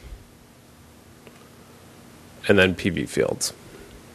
All right. Um, immediately after execution of this agreement, assuming the board would like to move forward with it, Total Brand Deliveries will install 39 pole pads and covers, 33 of which will be the, the ones at PV Fields, and then they'll install three others at each additional park. Um, these pole pads and covers will be what, what we label the default cover. So they'll have an advertisement, and we'll have we have a display a little bit later, um, and then they'll have the district logo at the bottom. So those will be installed initially, and those will be used as an advertising source for them um, to, to, advertise the potential to actually provide your your company logo um, on those spaces. So what we'll see is those these pads will begin to be rented out, and they'll be replaced with what organization, uh, whatever organization determines uh, would like to rent out that specific pad. Um, and again, as they begin to sell this ad space, Total Brand Deliveries will be required to pay $60 a month per pole the first year. After the first year of this agreement, that will escalate to $75 a pole moving forward. Uh, the fiscal impact of this recommended uh, action item um, will have no immediate fiscal impact. However, once this this agreement is executed, the poles will be rented out. If the poles are rented out for the entire two-year period at 100% occupancy, we would expect $123,000 in additional revenue through this program. District staff has a pretty conservative estimate at a 20% rental rate average through the two-year period, which would gross about $24,000 over the term of this agreement. And at that, at the end of this two-year agreement, again, the terms would be renegotiated and brought before the board uh, for approval at that point. And again, my recommendation is that the board approve and authorize the general manager to enter an agreement with Total Brand Deliveries doing business as pole positions. In your board packets, I also included a, a draft copy of the agreement. Um, that is nearly finalized. We made some change, changes on uh, the liability portion. We removed um, the liability waiver at the very end of the agreement. Um, so that's really the, the only big change that will happen. There's some small grammatical items that will be changed before that goes into effect upon uh, the general manager and Mark Lewis uh, signing the agreement. Um, do you have any questions or comments for me before I introduce Mark Lewis, owner of uh, Total Brand Delivery, um, for some additional um, comments and explanations? Everybody's okay with it, why don't we go to the, the our One guest? Our guest. for- Oh, okay. From Yeah, uh, Mitchell, um, on your map for Bob Kildee, I'm a little nervous when I saw the pole positions there because we have light poles that belong to the, our district, of course, mm-hmm. but they're located on school property. Is that going to be an issue? Because I think, I I think they're, you see what I'm saying there? Can we, can we get rental income from our pole on a school property? Or is that, a- have you talked to them or is that an issue? If you, if you understand my question. Yes, and if I do remember, those light poles actually are ours. Or the property is the district's, but the light poles are ours. And I know, looking at the contract, that if, let's say, we decided to, that we wanted to take those down, we could, but then we'd have to put everything back to as was. Well, my question, I know we own the poles uh, and the lighting system and blah, blah, and it's ours. but it's on school property. Is that going to be, was there any issue or potential conflict of issue with the school district if we were going to do that on school property? Director, Director Mitchell, we don't necessarily um, see a conflict at this point, given the fact that there'll be an additional safety mechanism. Um, but part of the agreement places the the burden on total brand deliveries to um, obtain the the uh, the required licenses and permitting per- permits before installing the the pole pad covers. So we wouldn't necessarily be liable. I understand we may have some public feedback from that, um, but I think staff's position on it would be we're providing additional safety mechanisms for the public by installing those those covers and. Well, I'm not concerned about us. I'm, I'm concerned about the school district saying, what are you doing with those poles in our land? That's what I'm saying, right? You Right. understand what I'm saying? I do. So as I think Mitchell just, one of the things is for pole positions, so if there's an issue, then we deal with that with pole positions. Pole position, positions deals with the school district if that's, Okay, if that's a potential issue. This as long as we're on the same wavelength. Yeah. Okay. Well, if it's okay, why don't we bring up the, the, our, Mr. Lewis, and, and maybe we can address questions to both of you at the same time. Definitely, I think that's So- a good idea. And they actually brought an example of what the covers will look like. Ah. And again, um, this is Mark Lewis, uh, owner of uh, Total Brand Delivery, also a local business owner as well as a resident of Camarillo. Good evening, Chairman, Board of Directors. It's my pleasure to be here tonight. If I may just uh, start by saying that uh, six years ago, my then nine-year-old son Matthew was uh, attending school at Santa Rosa Technology Magnet, and I got a lovely call from the principal, frantic, that uh, Matthew hit his head on a pole on the yard that was not protected. That resulted in a fairly good-sized gash on his forehead, and Holke put his finger in the wound and did the best triage he could at the school, and uh, went to the school and got Matthew, and he was notably shaken. And we did what we had to do, and we soothed it, and we got it taken care of, you know, eight, ten stitches later. And on that day, as a parent and as an owner of a business, of a marketing company for 25 years, I looked at the, uh, the pole and I said, something's got to be done at the school. Fast forward to about two years ago. I live in Village at the Park, which is adjacent to Pleasant Valley Fields, and I uh, decided that I should become a runner. So here I am running the fields every day. I'm running up and down past these poles, and I remember what had happened to Matthew on the field, you know, at the on the yard, and uh, and I saw that out of the 33 poles of Pleasant Valley, there was nine of them that had a pad on them that were desperately needing replacement, and uh, I took the proverbial, uh, I guess, Reese's cup analogy, and I said, marketing message, safety, and potential revenue generator to the district. And so I stand here before you this evening, uh, proudly, as a Camarillo resident, father, business owner, and uh, in light of the previous conversations that are seem seemingly pretty heavy, hopefully this is a breath of fresh air. Our mission is to enhance safety, increase goodwill, and generate revenue to the district. Um, there's not much more to say about the program or the product itself other than it is my baby. And uh, I'm darn proud of it and I'm happy to be here. And uh, we're ready to rock and roll. We've been working with Mary for now about a year, refining the terms of how we can navigate and make this thing happen. And uh, we're just ready to rock and roll and seeking your approval to do so. Okay. Bob, or, or uh, Mike, why don't you go ahead and finish since you started already? Hi, how you doing? Good. And thank you for doing all this and following up and, and coming up and, and talking with us and working with staff. My question is, when, sh- so this would be like your initial product on the pole, of course. Let's say, so you got, you get a customer, you sign them up. Do you actually have to, you're going to make a new one of these and, and print on their screen print? I guess you're using some type of sc- s- s- silk screen printing process or something to put it on there.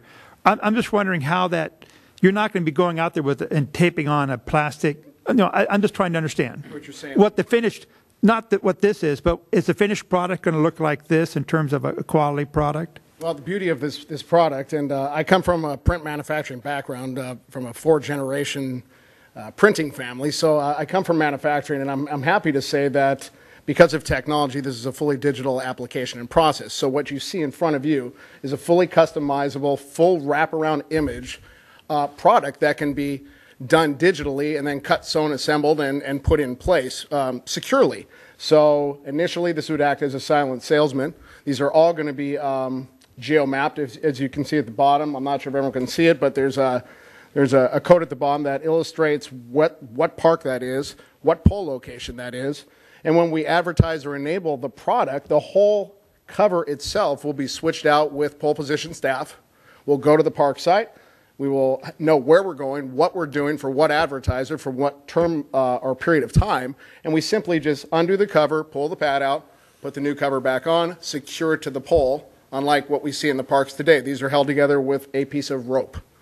Uh, it, it's just, um, it's a dramatic improvement, and, it makes the park look good. Uh, these are tasteful messages. These are not intended to be what I would call refer to as business card or static advertising messages. This is a dynamic process which is going to be uh, driven by mobile marketing. So, you know, you bring your, your son or daughter to the field for their game. They will see a message on a pole. They'll be encouraged, if they're uh, interested, to communicate via their mobile phone, which everyone has anyways. And if they are so compelled, uh, they will be uh, communicated by the potential advertiser and given a message that will ask them to opt in um, and, and, create a dialogue with users in the community. So it, it, really, it's just, you know, I'm sorry to veer off your question, Mr. Mishler, but uh, hopefully that answers it. Yeah, thank, thank you very much. My pleasure. Good. Elaine? Elaine? Um, I I have, I have a, I, all I can think about is the poop bags, that, how it fell through. And uh, if you're, if you're familiar with the poop bags, then fine. But advertising scares me, even though we have a very distinguished board member sitting up here with us, that that's his background. Um, I'm just not sure if we're going to be able to uh, see the the benefit that you're going to be able to to market that. Um, I, and and there's probably people out there that'll buy it. I understand that, but I don't want us to do one or two. I'd like to see, you know, 50, 60 percent of them done. What can you tell me? Well, Make me feel good about this. First of all, Elaine, I, I agree with your statements wholeheartedly, and I understand um, some of that thought process.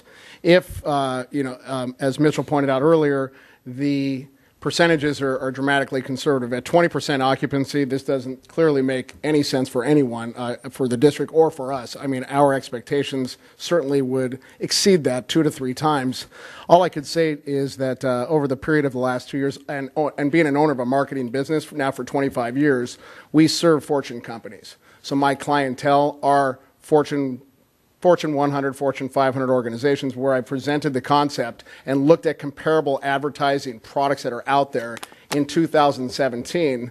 When you're talking about unchartered or um, un- underutilized or, or, completely not utilized real estate in communities across our state, uh, let's start right here in our own backyard it is appealing to potential advertisers. And when you bring in the mobile marketing piece, it really cuts through the clutter and is it's a differentiator. It's completely different than what is out there. Um, and you have a captive audience that sits on the field for two hours. So, uh, I mean, I don't want to really get ahead of myself and, and, get in front of the board and say, look, here's, here's the advertisers we got from day yeah. one, but I can assure you that we have, um, we have definite prospects that are just waiting for the program to go live. Okay, thank you. So to just piggyback on that, so one of the things, if when reading through the contract, and one of the things that we put up, and, and, and both of us agreed, is that if, as, as Mark had suggested, if this isn't, if this program doesn't go well, we know that we have to replace the pads right now. So he's already replacing those as part of this. So the worst case scenario, if this doesn't work, we get the pads that he's now purchasing at his cost so we get them at, at cost. So we'd have to replace those anyway. So the worst, worst case scenarios, all of those pad covers come off and we have pads. We just replace it with and a generic re- cover. Correct. So the worst case scenarios, those are those would have to be replaced at, at some point anyway. So that's how this was set up. So both so both organizations, ours and his, wouldn't become a loser if this didn't work out well. It occurs to me, Elaine, that I didn't touch on the uh, the, the, comparative to uh, poo-free parks, which I did do my research on, and, and I'm happy to say that I am a, a user of the um, the bags in which you pay for. So thank you, board for um, providing that to our, our, our, our public areas. I, I run, um, you know, a very, very small French bulldog on the, uh, the Calleguas Trail every morning. I probably do three to four or five miles. I'm just about killing that dog because he's apparently not a running dog. And uh, I pick up after that dog. There's a lot of unleashed dogs, a lot of poo, poo free um, non users, shall I say. But in my research, as I understand it, the model for poo free parks, first of all, I don't know if it's a revenue sharing uh, model. Um, it's my understanding and belief it's a cost to the district. What I'm proposing to bring to the district is zero out of pocket and a chance for a revenue generation to the to to this this, this fine district, the best in the state as far as I'm concerned. And um, that's all I got to say on that matter, unless I'm uh, incorrect with the poo-free offer. It wasn't to start that way. Oh, gotcha, Okay. it, we, we have gotten to that, and that's what I was referring to. Right. It started out as is they were going to provide the bags and that kind of thing with their advertising, which never materialized. And so then it turned into a, a, a, a commodity item, a consumable that you have to now replace every Ex- week. exactly Thousands right. Of bags, I would imagine. yeah, yeah. Um, well, yeah.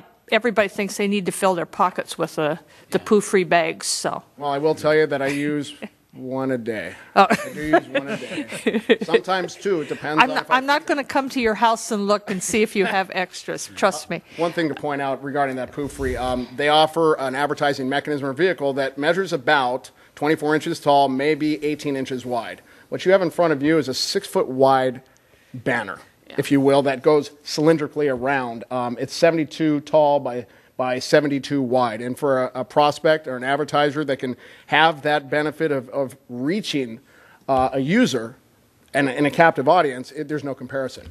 The value is there. At least, at least it's my understanding the value is there. Okay. Thank you. My pleasure. Uh, I just want to get a clarification before I have a question for you. Um, I, went back and started to read the contract, but my, my eyes are failing me this late in the day. uh, and I, it came to me, this is, is this a contract where we're not renting all these spaces? We're kind of doing them as we go along, and he finds advertisers. Is that basically the way it is? All right, so the way the contract, and correct me if I'm wrong, Mitchell, I know he's been working with this a lot as well. So what we've started with is he's going to start at PV, PV Fields first um, and replace all the pole pads there.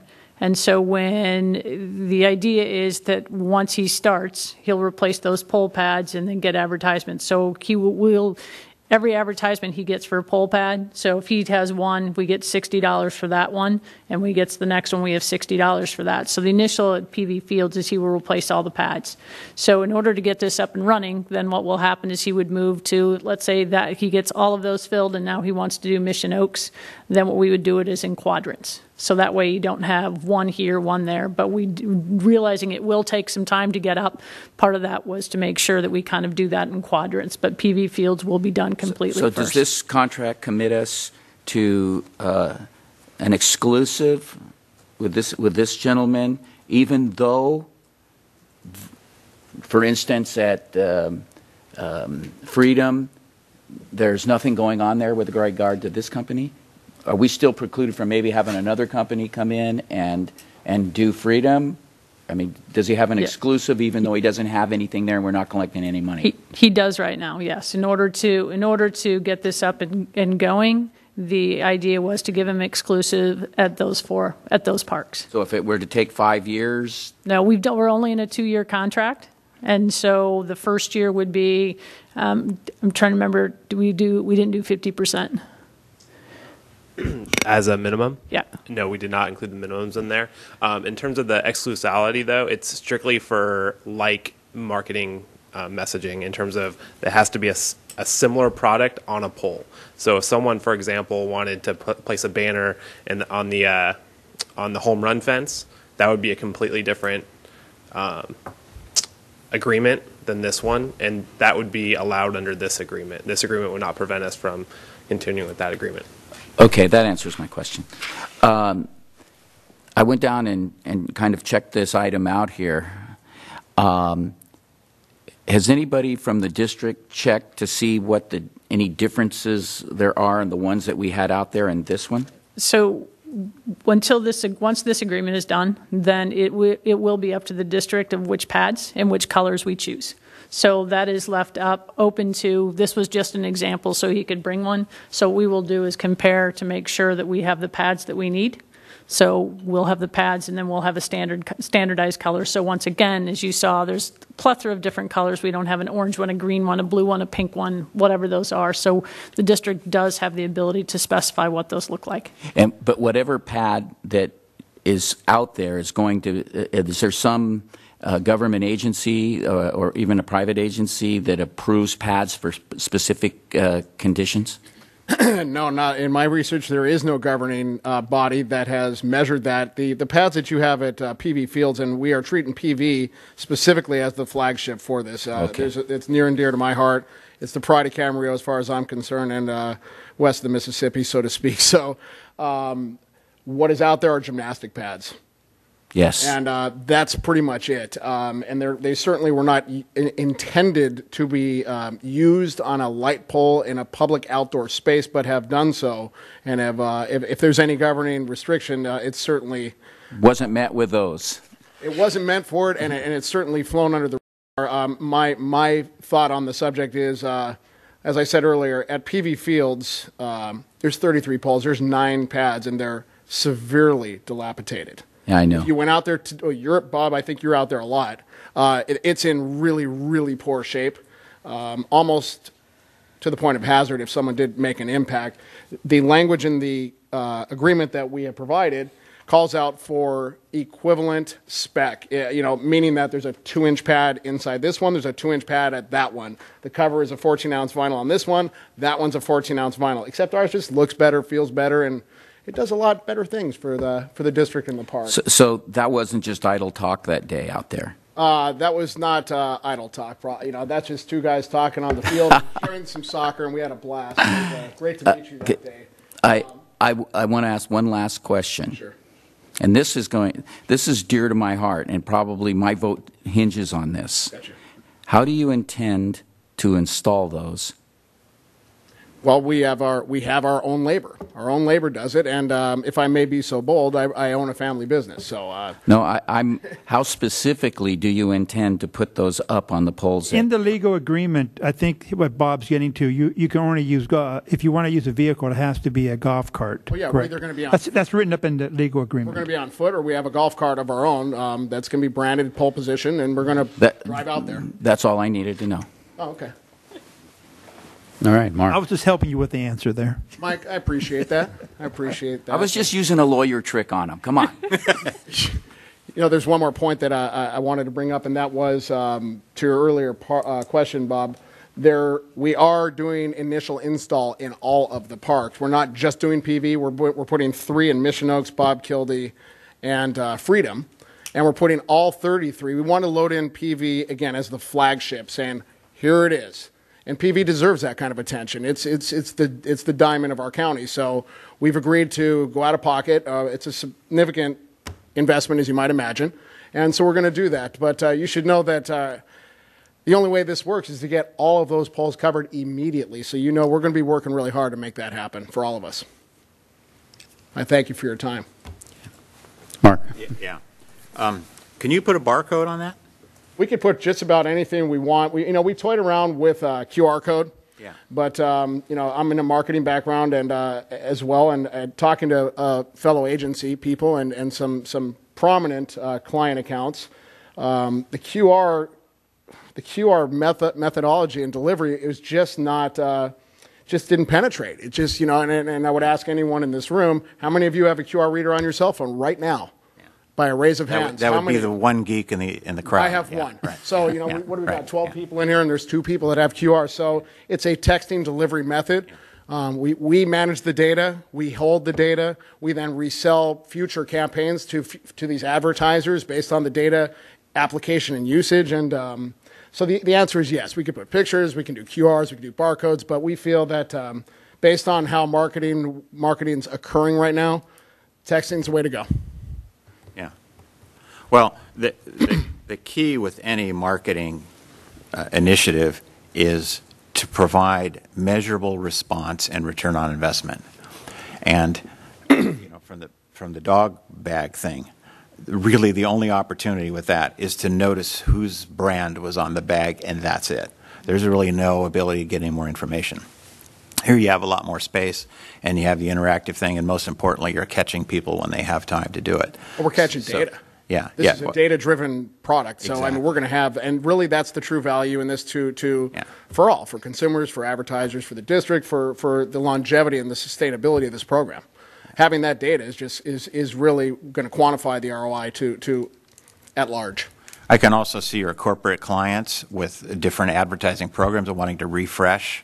Oh, yeah. The, the, the, Absolutely. So the, the pads would get replaced kind of generic uh, um, uh, as, a- as a matter of course. Right. Because new things would want to come on. And um, I, I could see this, this thing could definitely, definitely provide some really solid return for you. Absolutely. Um, you know, we saved a lot of money when we started with Pooh Parks, and then when, when they couldn't afford to do it, we started paying part, and, and you know, so there was still a good return on this. I, I encourage staff to bring us a deal like this every month. I mean, this this is really outstanding. It it, it, ha- it has the ability to make our parks nicer, and to help us with revenue. And um, I, I I think it's I think it's a great idea. Thank you, Mark. I, I'm when, when I see these things, I'm always worried about the background of the people doing it to know whether they can make it happen. You clearly have the background understanding to do that, and I think we I think we can make good partnership together. So All in. I'm all in on this. thank you. Okay, is this is this your unique idea, or has this Yes, been it done? is. Okay, Yes, so it is. so that you you have not seen this done anywhere else before. Not being done in the country, not in parks. Okay. You'll see it in stadiums, um, somewhat, you know, football stadiums or Staples Center, where they'll they'll do a mascot logo on the on the basketball pole or an upright, you know, in a football stadium. But it's it's very limited to just that. It's a it's an animated caricature for a mascot, but nobody is using this anywhere in the country. Um, you know, we're, we're, we're working with patent pending, but it's likely not going to happen. So we're first to market, and you know what? We're just happy to be in Camarillo to do it. You know, and, and from, from the, the people we got alongside of us, uh, we do have some blue sky vision, you know, and we're certainly going to go after it. Okay. And the, uh, um, I guess this gets into the terms of, of, of how you're running your business, but when an advertiser make uh, contracts with you for a pole, do you have a, a one-year contract or a two-year contract or, or a month? Is it a month to month or how does how does that? The initial proposal right now is a minimum of 90 days to encourage turnover because what we don't want to have happen is static messaging in the park. It'll it'll it'll prove to be ineffective for those advertisers.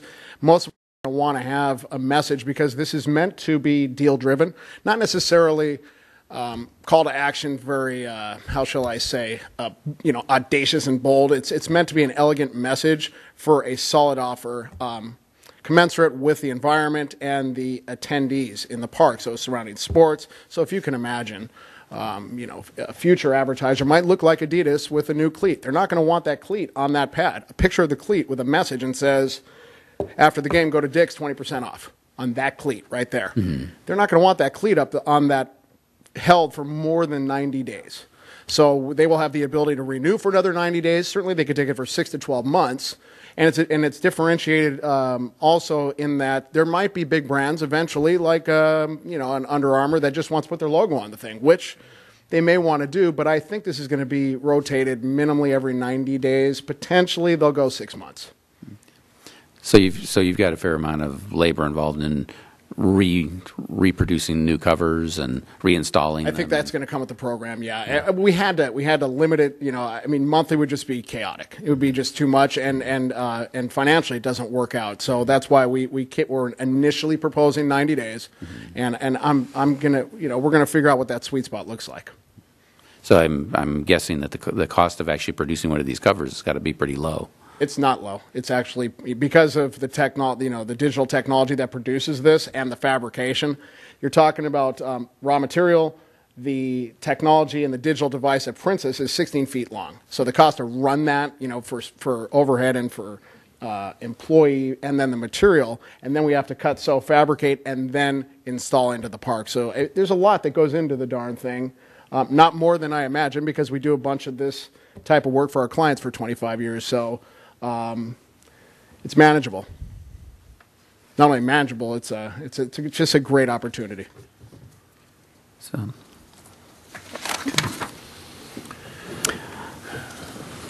Okay. Would you like a motion? Yeah, let's, uh, got a I'd like to make a motion that the board approve and authorize the general manager to enter into an agreement with Total Brand Delivery, doing business as pole positions. I'll second. Roll call. Director Malloy. Aye. Director Magner. Aye. Director Mishler. Aye. Director Kelly. Aye. Chairman Dixon. Aye. Thank you very Thank much. you. Thank you.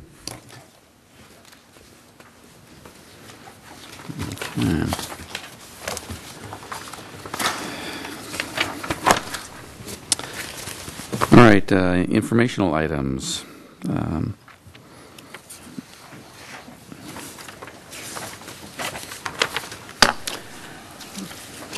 The, uh, um, I start with the chairman. Um, I don't have really, really a whole lot to say, although it- the, uh, uh, recently, um, we have had uh, a number of uh, visitors come, come uh, before the, the board and request that we make um, changes to allow pickleball to be played on our tennis courts, and, and we've made a promise that in, in this month, that we are going to make that happen uh, Bob, uh, Bob Kildee Park. A couple of our tennis courts are going to be modified. Um, I'm assuming we're making progress on that, and that's, we're going to achieve that goal. Actually, that's part of my updates. Okay, all right. I'll, I'll wait and hear on the updates then.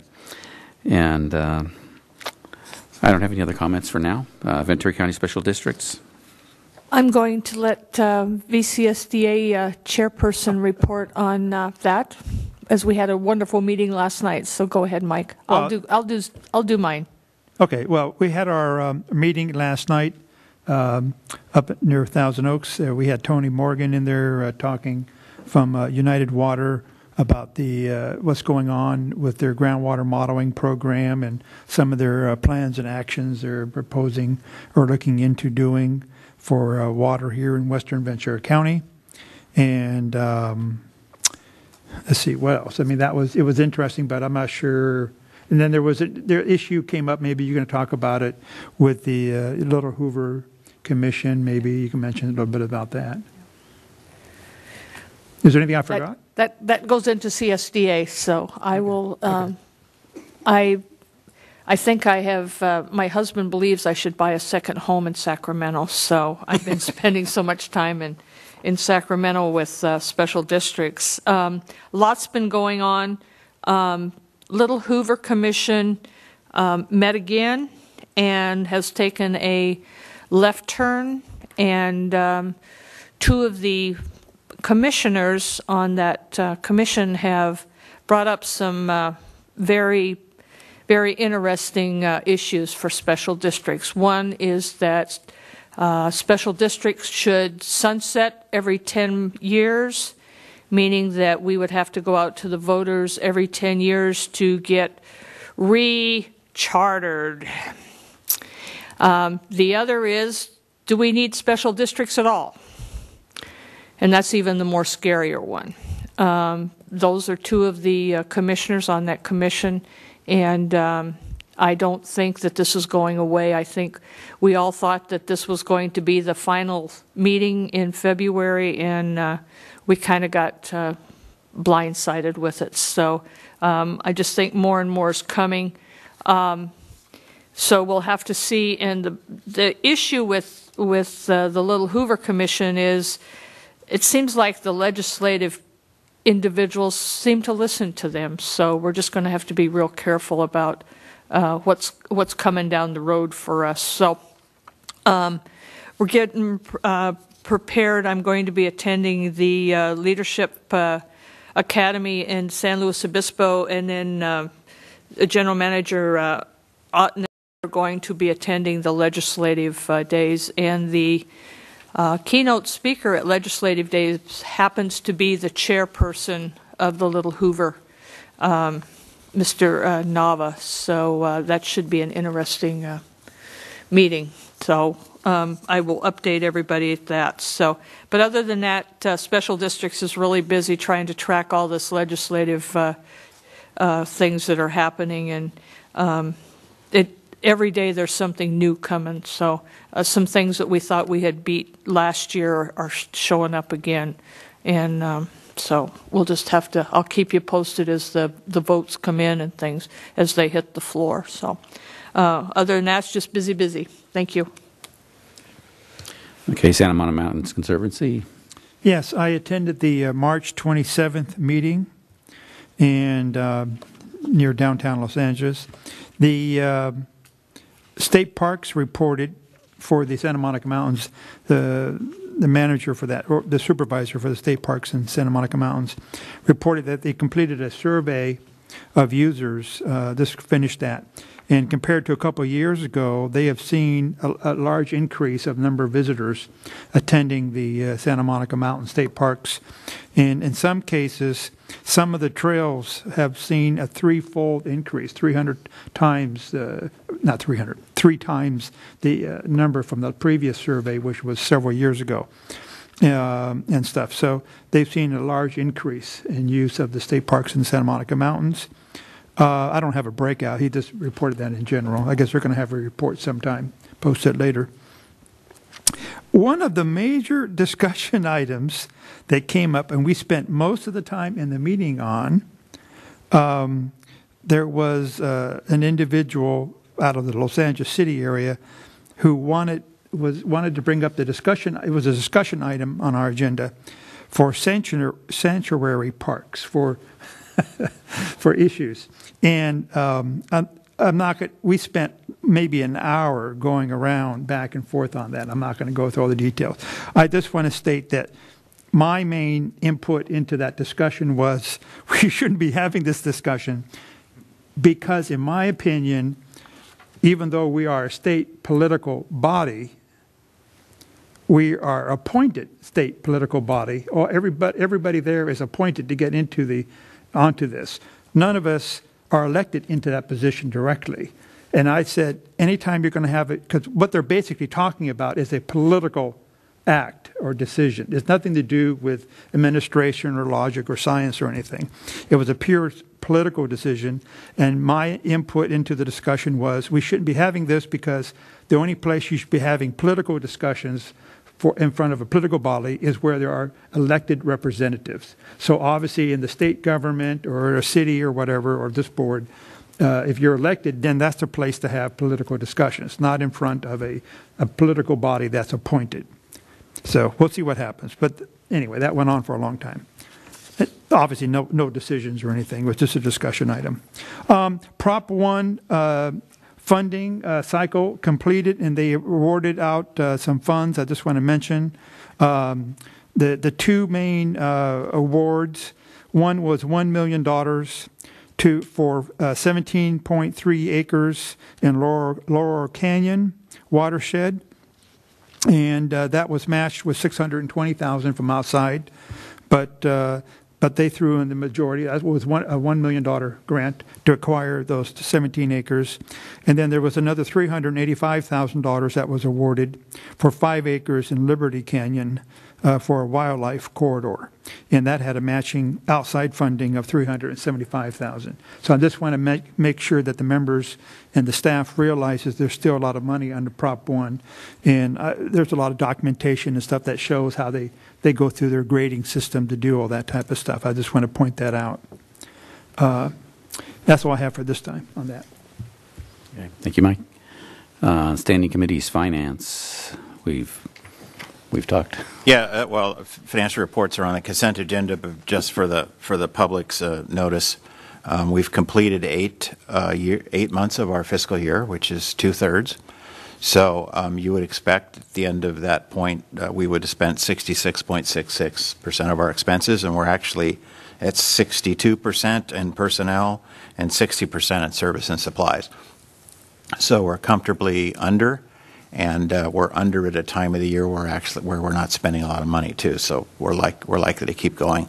Obviously, our water bills have dropped to, you know, a pittance and we're now comfortably under on our water budget, and we're also comfortably under on our electrical budget.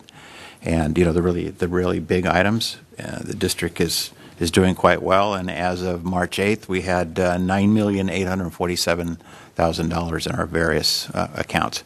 So we're in we're in very good shape, and continuing to do so. Thank you.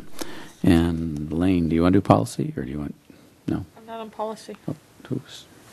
oh, was it you? You Mike? and I were. Oh, Mike. I'm sorry, Mike. So, do You want- and I were in that you room. Want, do you want me to do it, or you want me? You can, you can do it. You want me to do it? You, Okay. you, bet, you better have Mike do it. Yeah. um, policy committee met, and uh, we discussed two two items. One one was uh, both of them were primarily informational. We didn't make any any uh, decisions at that time, but the um, first issue had to do with preservation of information under the uh, Freedom of Information Act. We have to re- preserve information and make it available to the public. Um, in the, the electronic age, information is now being transmitted in forms that were that were not uh, contemplated in the past. Things like text messages, emails, and things like that. And we know we have to develop policies and how we are going to preserve uh, that that information and and what information is necessary to preserve and in what form we will preserve it. We're in the process of reviewing that, and we're going to come back and discuss that again in uh, May, I think. Uh, the other was a rev- review of uh, basically, I'm going to call it our municipal codes. It's policy eight or something. Is it uh, Ordinance eight. Ordinance Ordinance eight, um, which is basically the the the uh, legal codes under which the district operates. And uh, I, I I think this is uh, arose from our our new legal team reviewing those codes and making recommendations on changes. Uh, most of which were just changes in terminology, but there were some sub- substantive changes, and we discussed that and. Director Mishler and I are going to to continue to review those and and uh, um, finalize our recommendations to bring back to, to the board uh, in that same meeting in May. So that's it for policy. Anything else? Uh, foundation. I'm going to speak. I will speak now. Um, want everybody to uh, save the date of August 26, 2017 at 5:30 at Cam Grove. Um, we're going to have the third annual party for the parks, uh, Starlit Summer's Night, and I know it won't show up, but this is the first. Uh, uh, part of publicity that will be going out, to save the date, and it, I think staff did a beautiful job on this. This is just really eye-catching. So, um, please share with the staff that doesn't happen to be here that they did a very, very nice job. So, uh, so we're looking forward to it, and um, we're um, we're moving along, getting ready for the the um, the party. So, uh, we'll. If Mary has something else to add, she will add. We're good. Okay, with that. All right, general managers report.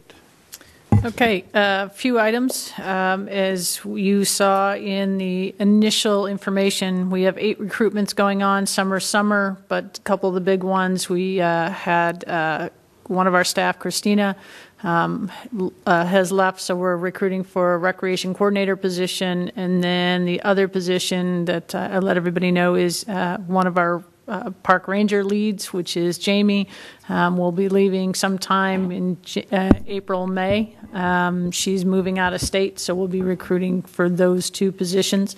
We've just hired Megan, which is um, Ivian's replacement. So she started officially yesterday. Today's Wednesday, right?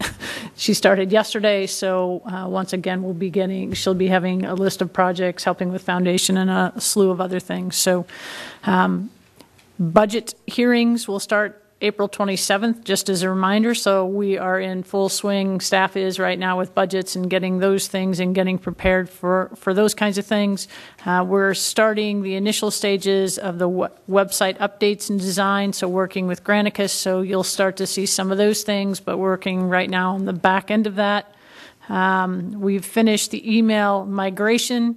If anybody is having issues with that, please let Mitchell know. I know that we've had some random issues here and there, so um, even with emails, I think our delete button on some of them, so you couldn't delete by the delete button. So if you have some of those issues, let him know so he can, so we can make sure we can get those things fixed. Um, Mission Oaks Dog Park, uh, we've been having the, most of you have heard, if you've been out that way, we've been having issues with a drinking fountain out there. Um, there's two pump stations that are tied to it. Um, the two pump stations with the school have been down. So they are hoping the pumps, pump stations or the new pump stations have been ordered. So hopefully in the next week or two weeks, we haven't gotten final confirmation where those will go back on. So hopefully that will fix the problem. If not, then we're going to look at another long-term solution because turning them on and off is is not helpful and it confuses people and everybody doesn't understand why. So working to fix that. Um, Speaking of water, uh, we had a main line at Bob Kildee that uh, went out today, so we're working on that. Hopefully, that will be fixed by tomorrow as well. So if you're seeing people out there, there's we've got working on that. Pickleball courts, they're working um, th- this week and should be done next week to paint the lines. So we will have two pickleball courts at Bob Kildee. So that should be up online. Working right now on the equestrian trail is, um, people may know that trail, especially with all the water. Um, we are working with CAL FIRE to clean that up and rehab that at this point. So we're working on those things. Um, a couple things that are coming up Camarillo Grove Park, that will be closed April 17th through approximately mid-May to open back up, but that's when the parking lot will be done, redone. So just a reminder, we've got stuff on the website, it's up at the park, but just a reminder that it'll be the Monday after Easter. So that's coming up around the corner. On April 15th, we have quite a few things going on. We have the Easter extravaganza that's happening. I know that we have the um, was working the other day. We have the Pepperdine, UCLA, and Santa Barbara soccer match that will be going on that the Eagles are hosting once again. Uh, so that will be going on that that particular day and is. Um, due to the rain this weekend, as I think Bob had mentioned, we're moving the rummage sale from the 8th to the 22nd, correct on that? So I think those are some of the things right now in a quick snapshot. Uh, Mary, do, do we have any kind of uh, timetable from the school district on when they're going to have those pumps? We, d- we don't. We actually had an email today today from Chris saying that the, they've been ordered, but they can't tell us directly when they will be up. So, and so the answer is no. But we keep we keep pushing. I think we've had a conversation with it at least twice a week to find out when those will be back up online. All right, thank you. Oral communications, I'm going to start with Mike. Okay, thank you. Uh, I want to start by saying thank you to Bob for being here and showing up. And then uh, I met with Bob, and uh, we went over some ideas.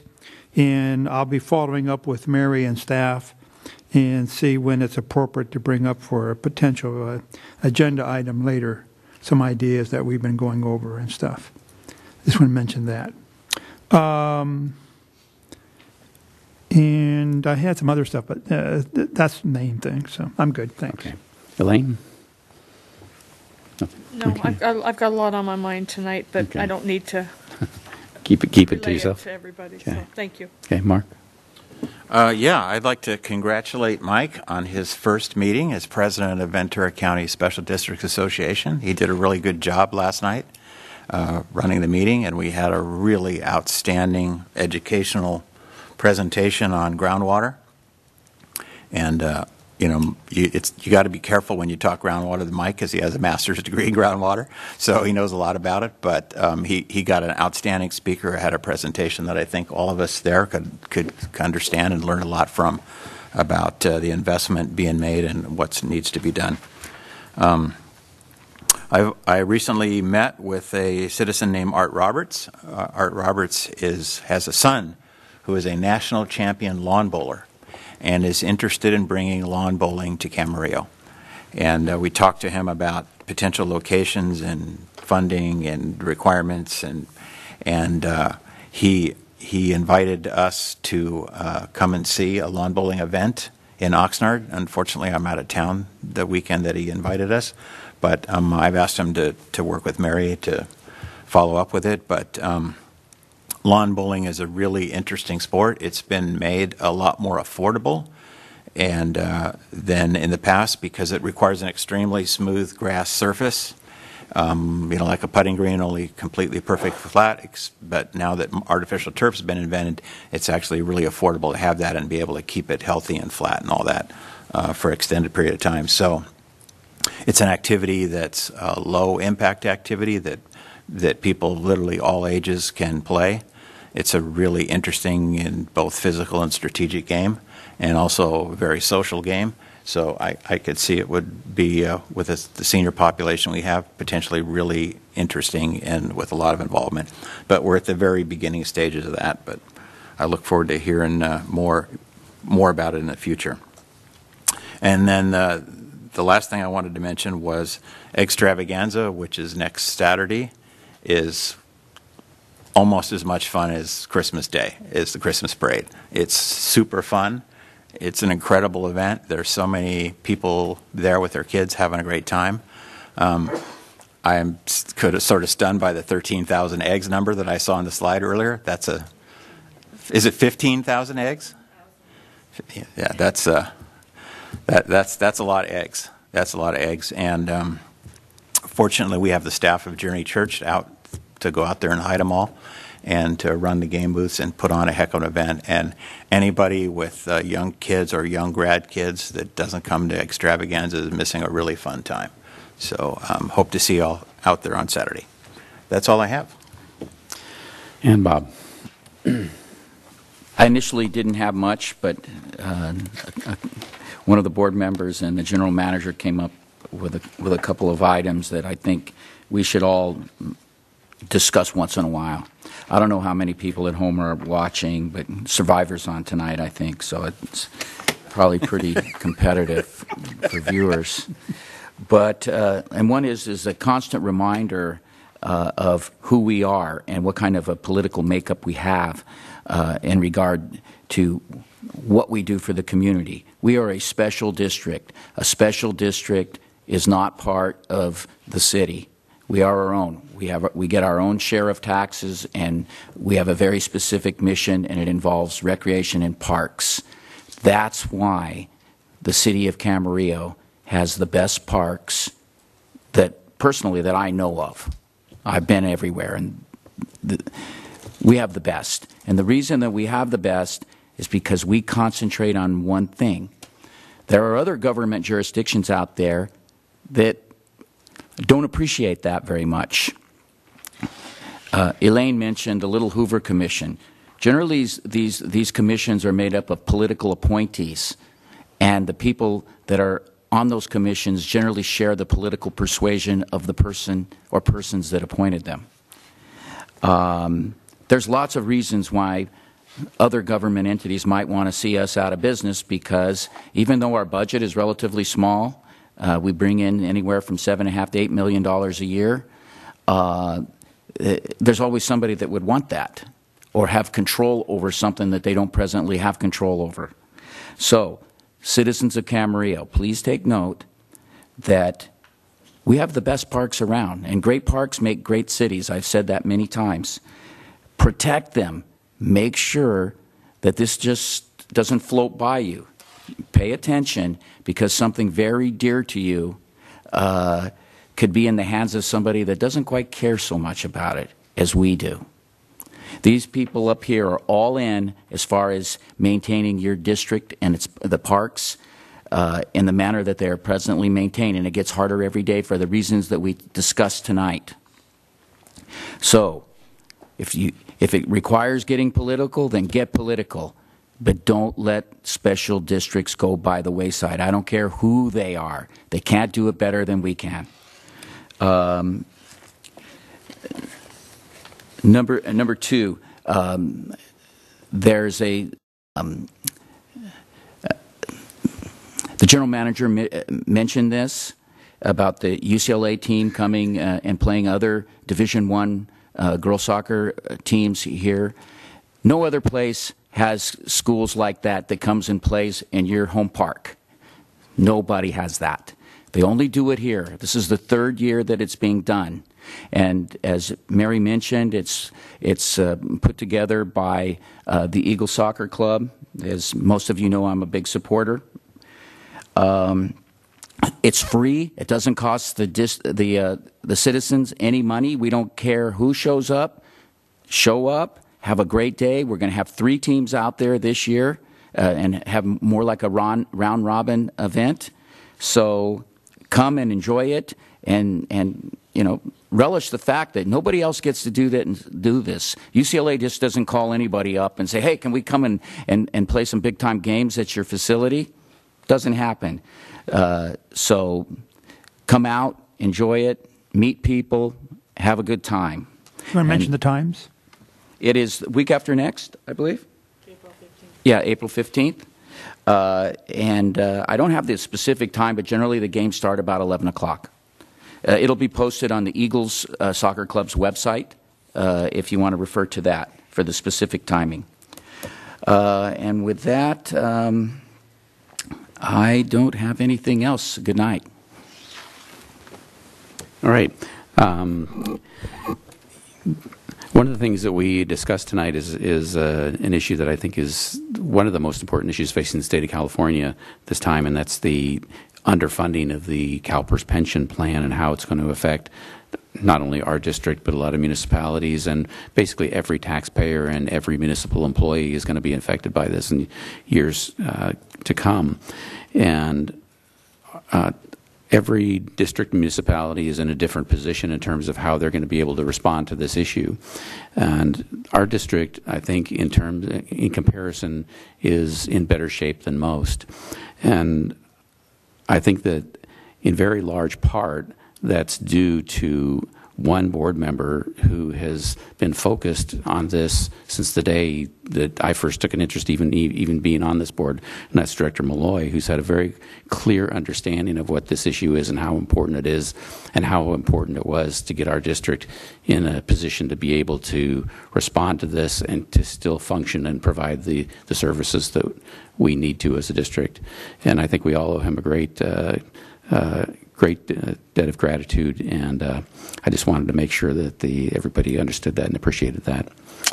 And with that, I am done. Um, we will call this meeting. You're here. Thank you.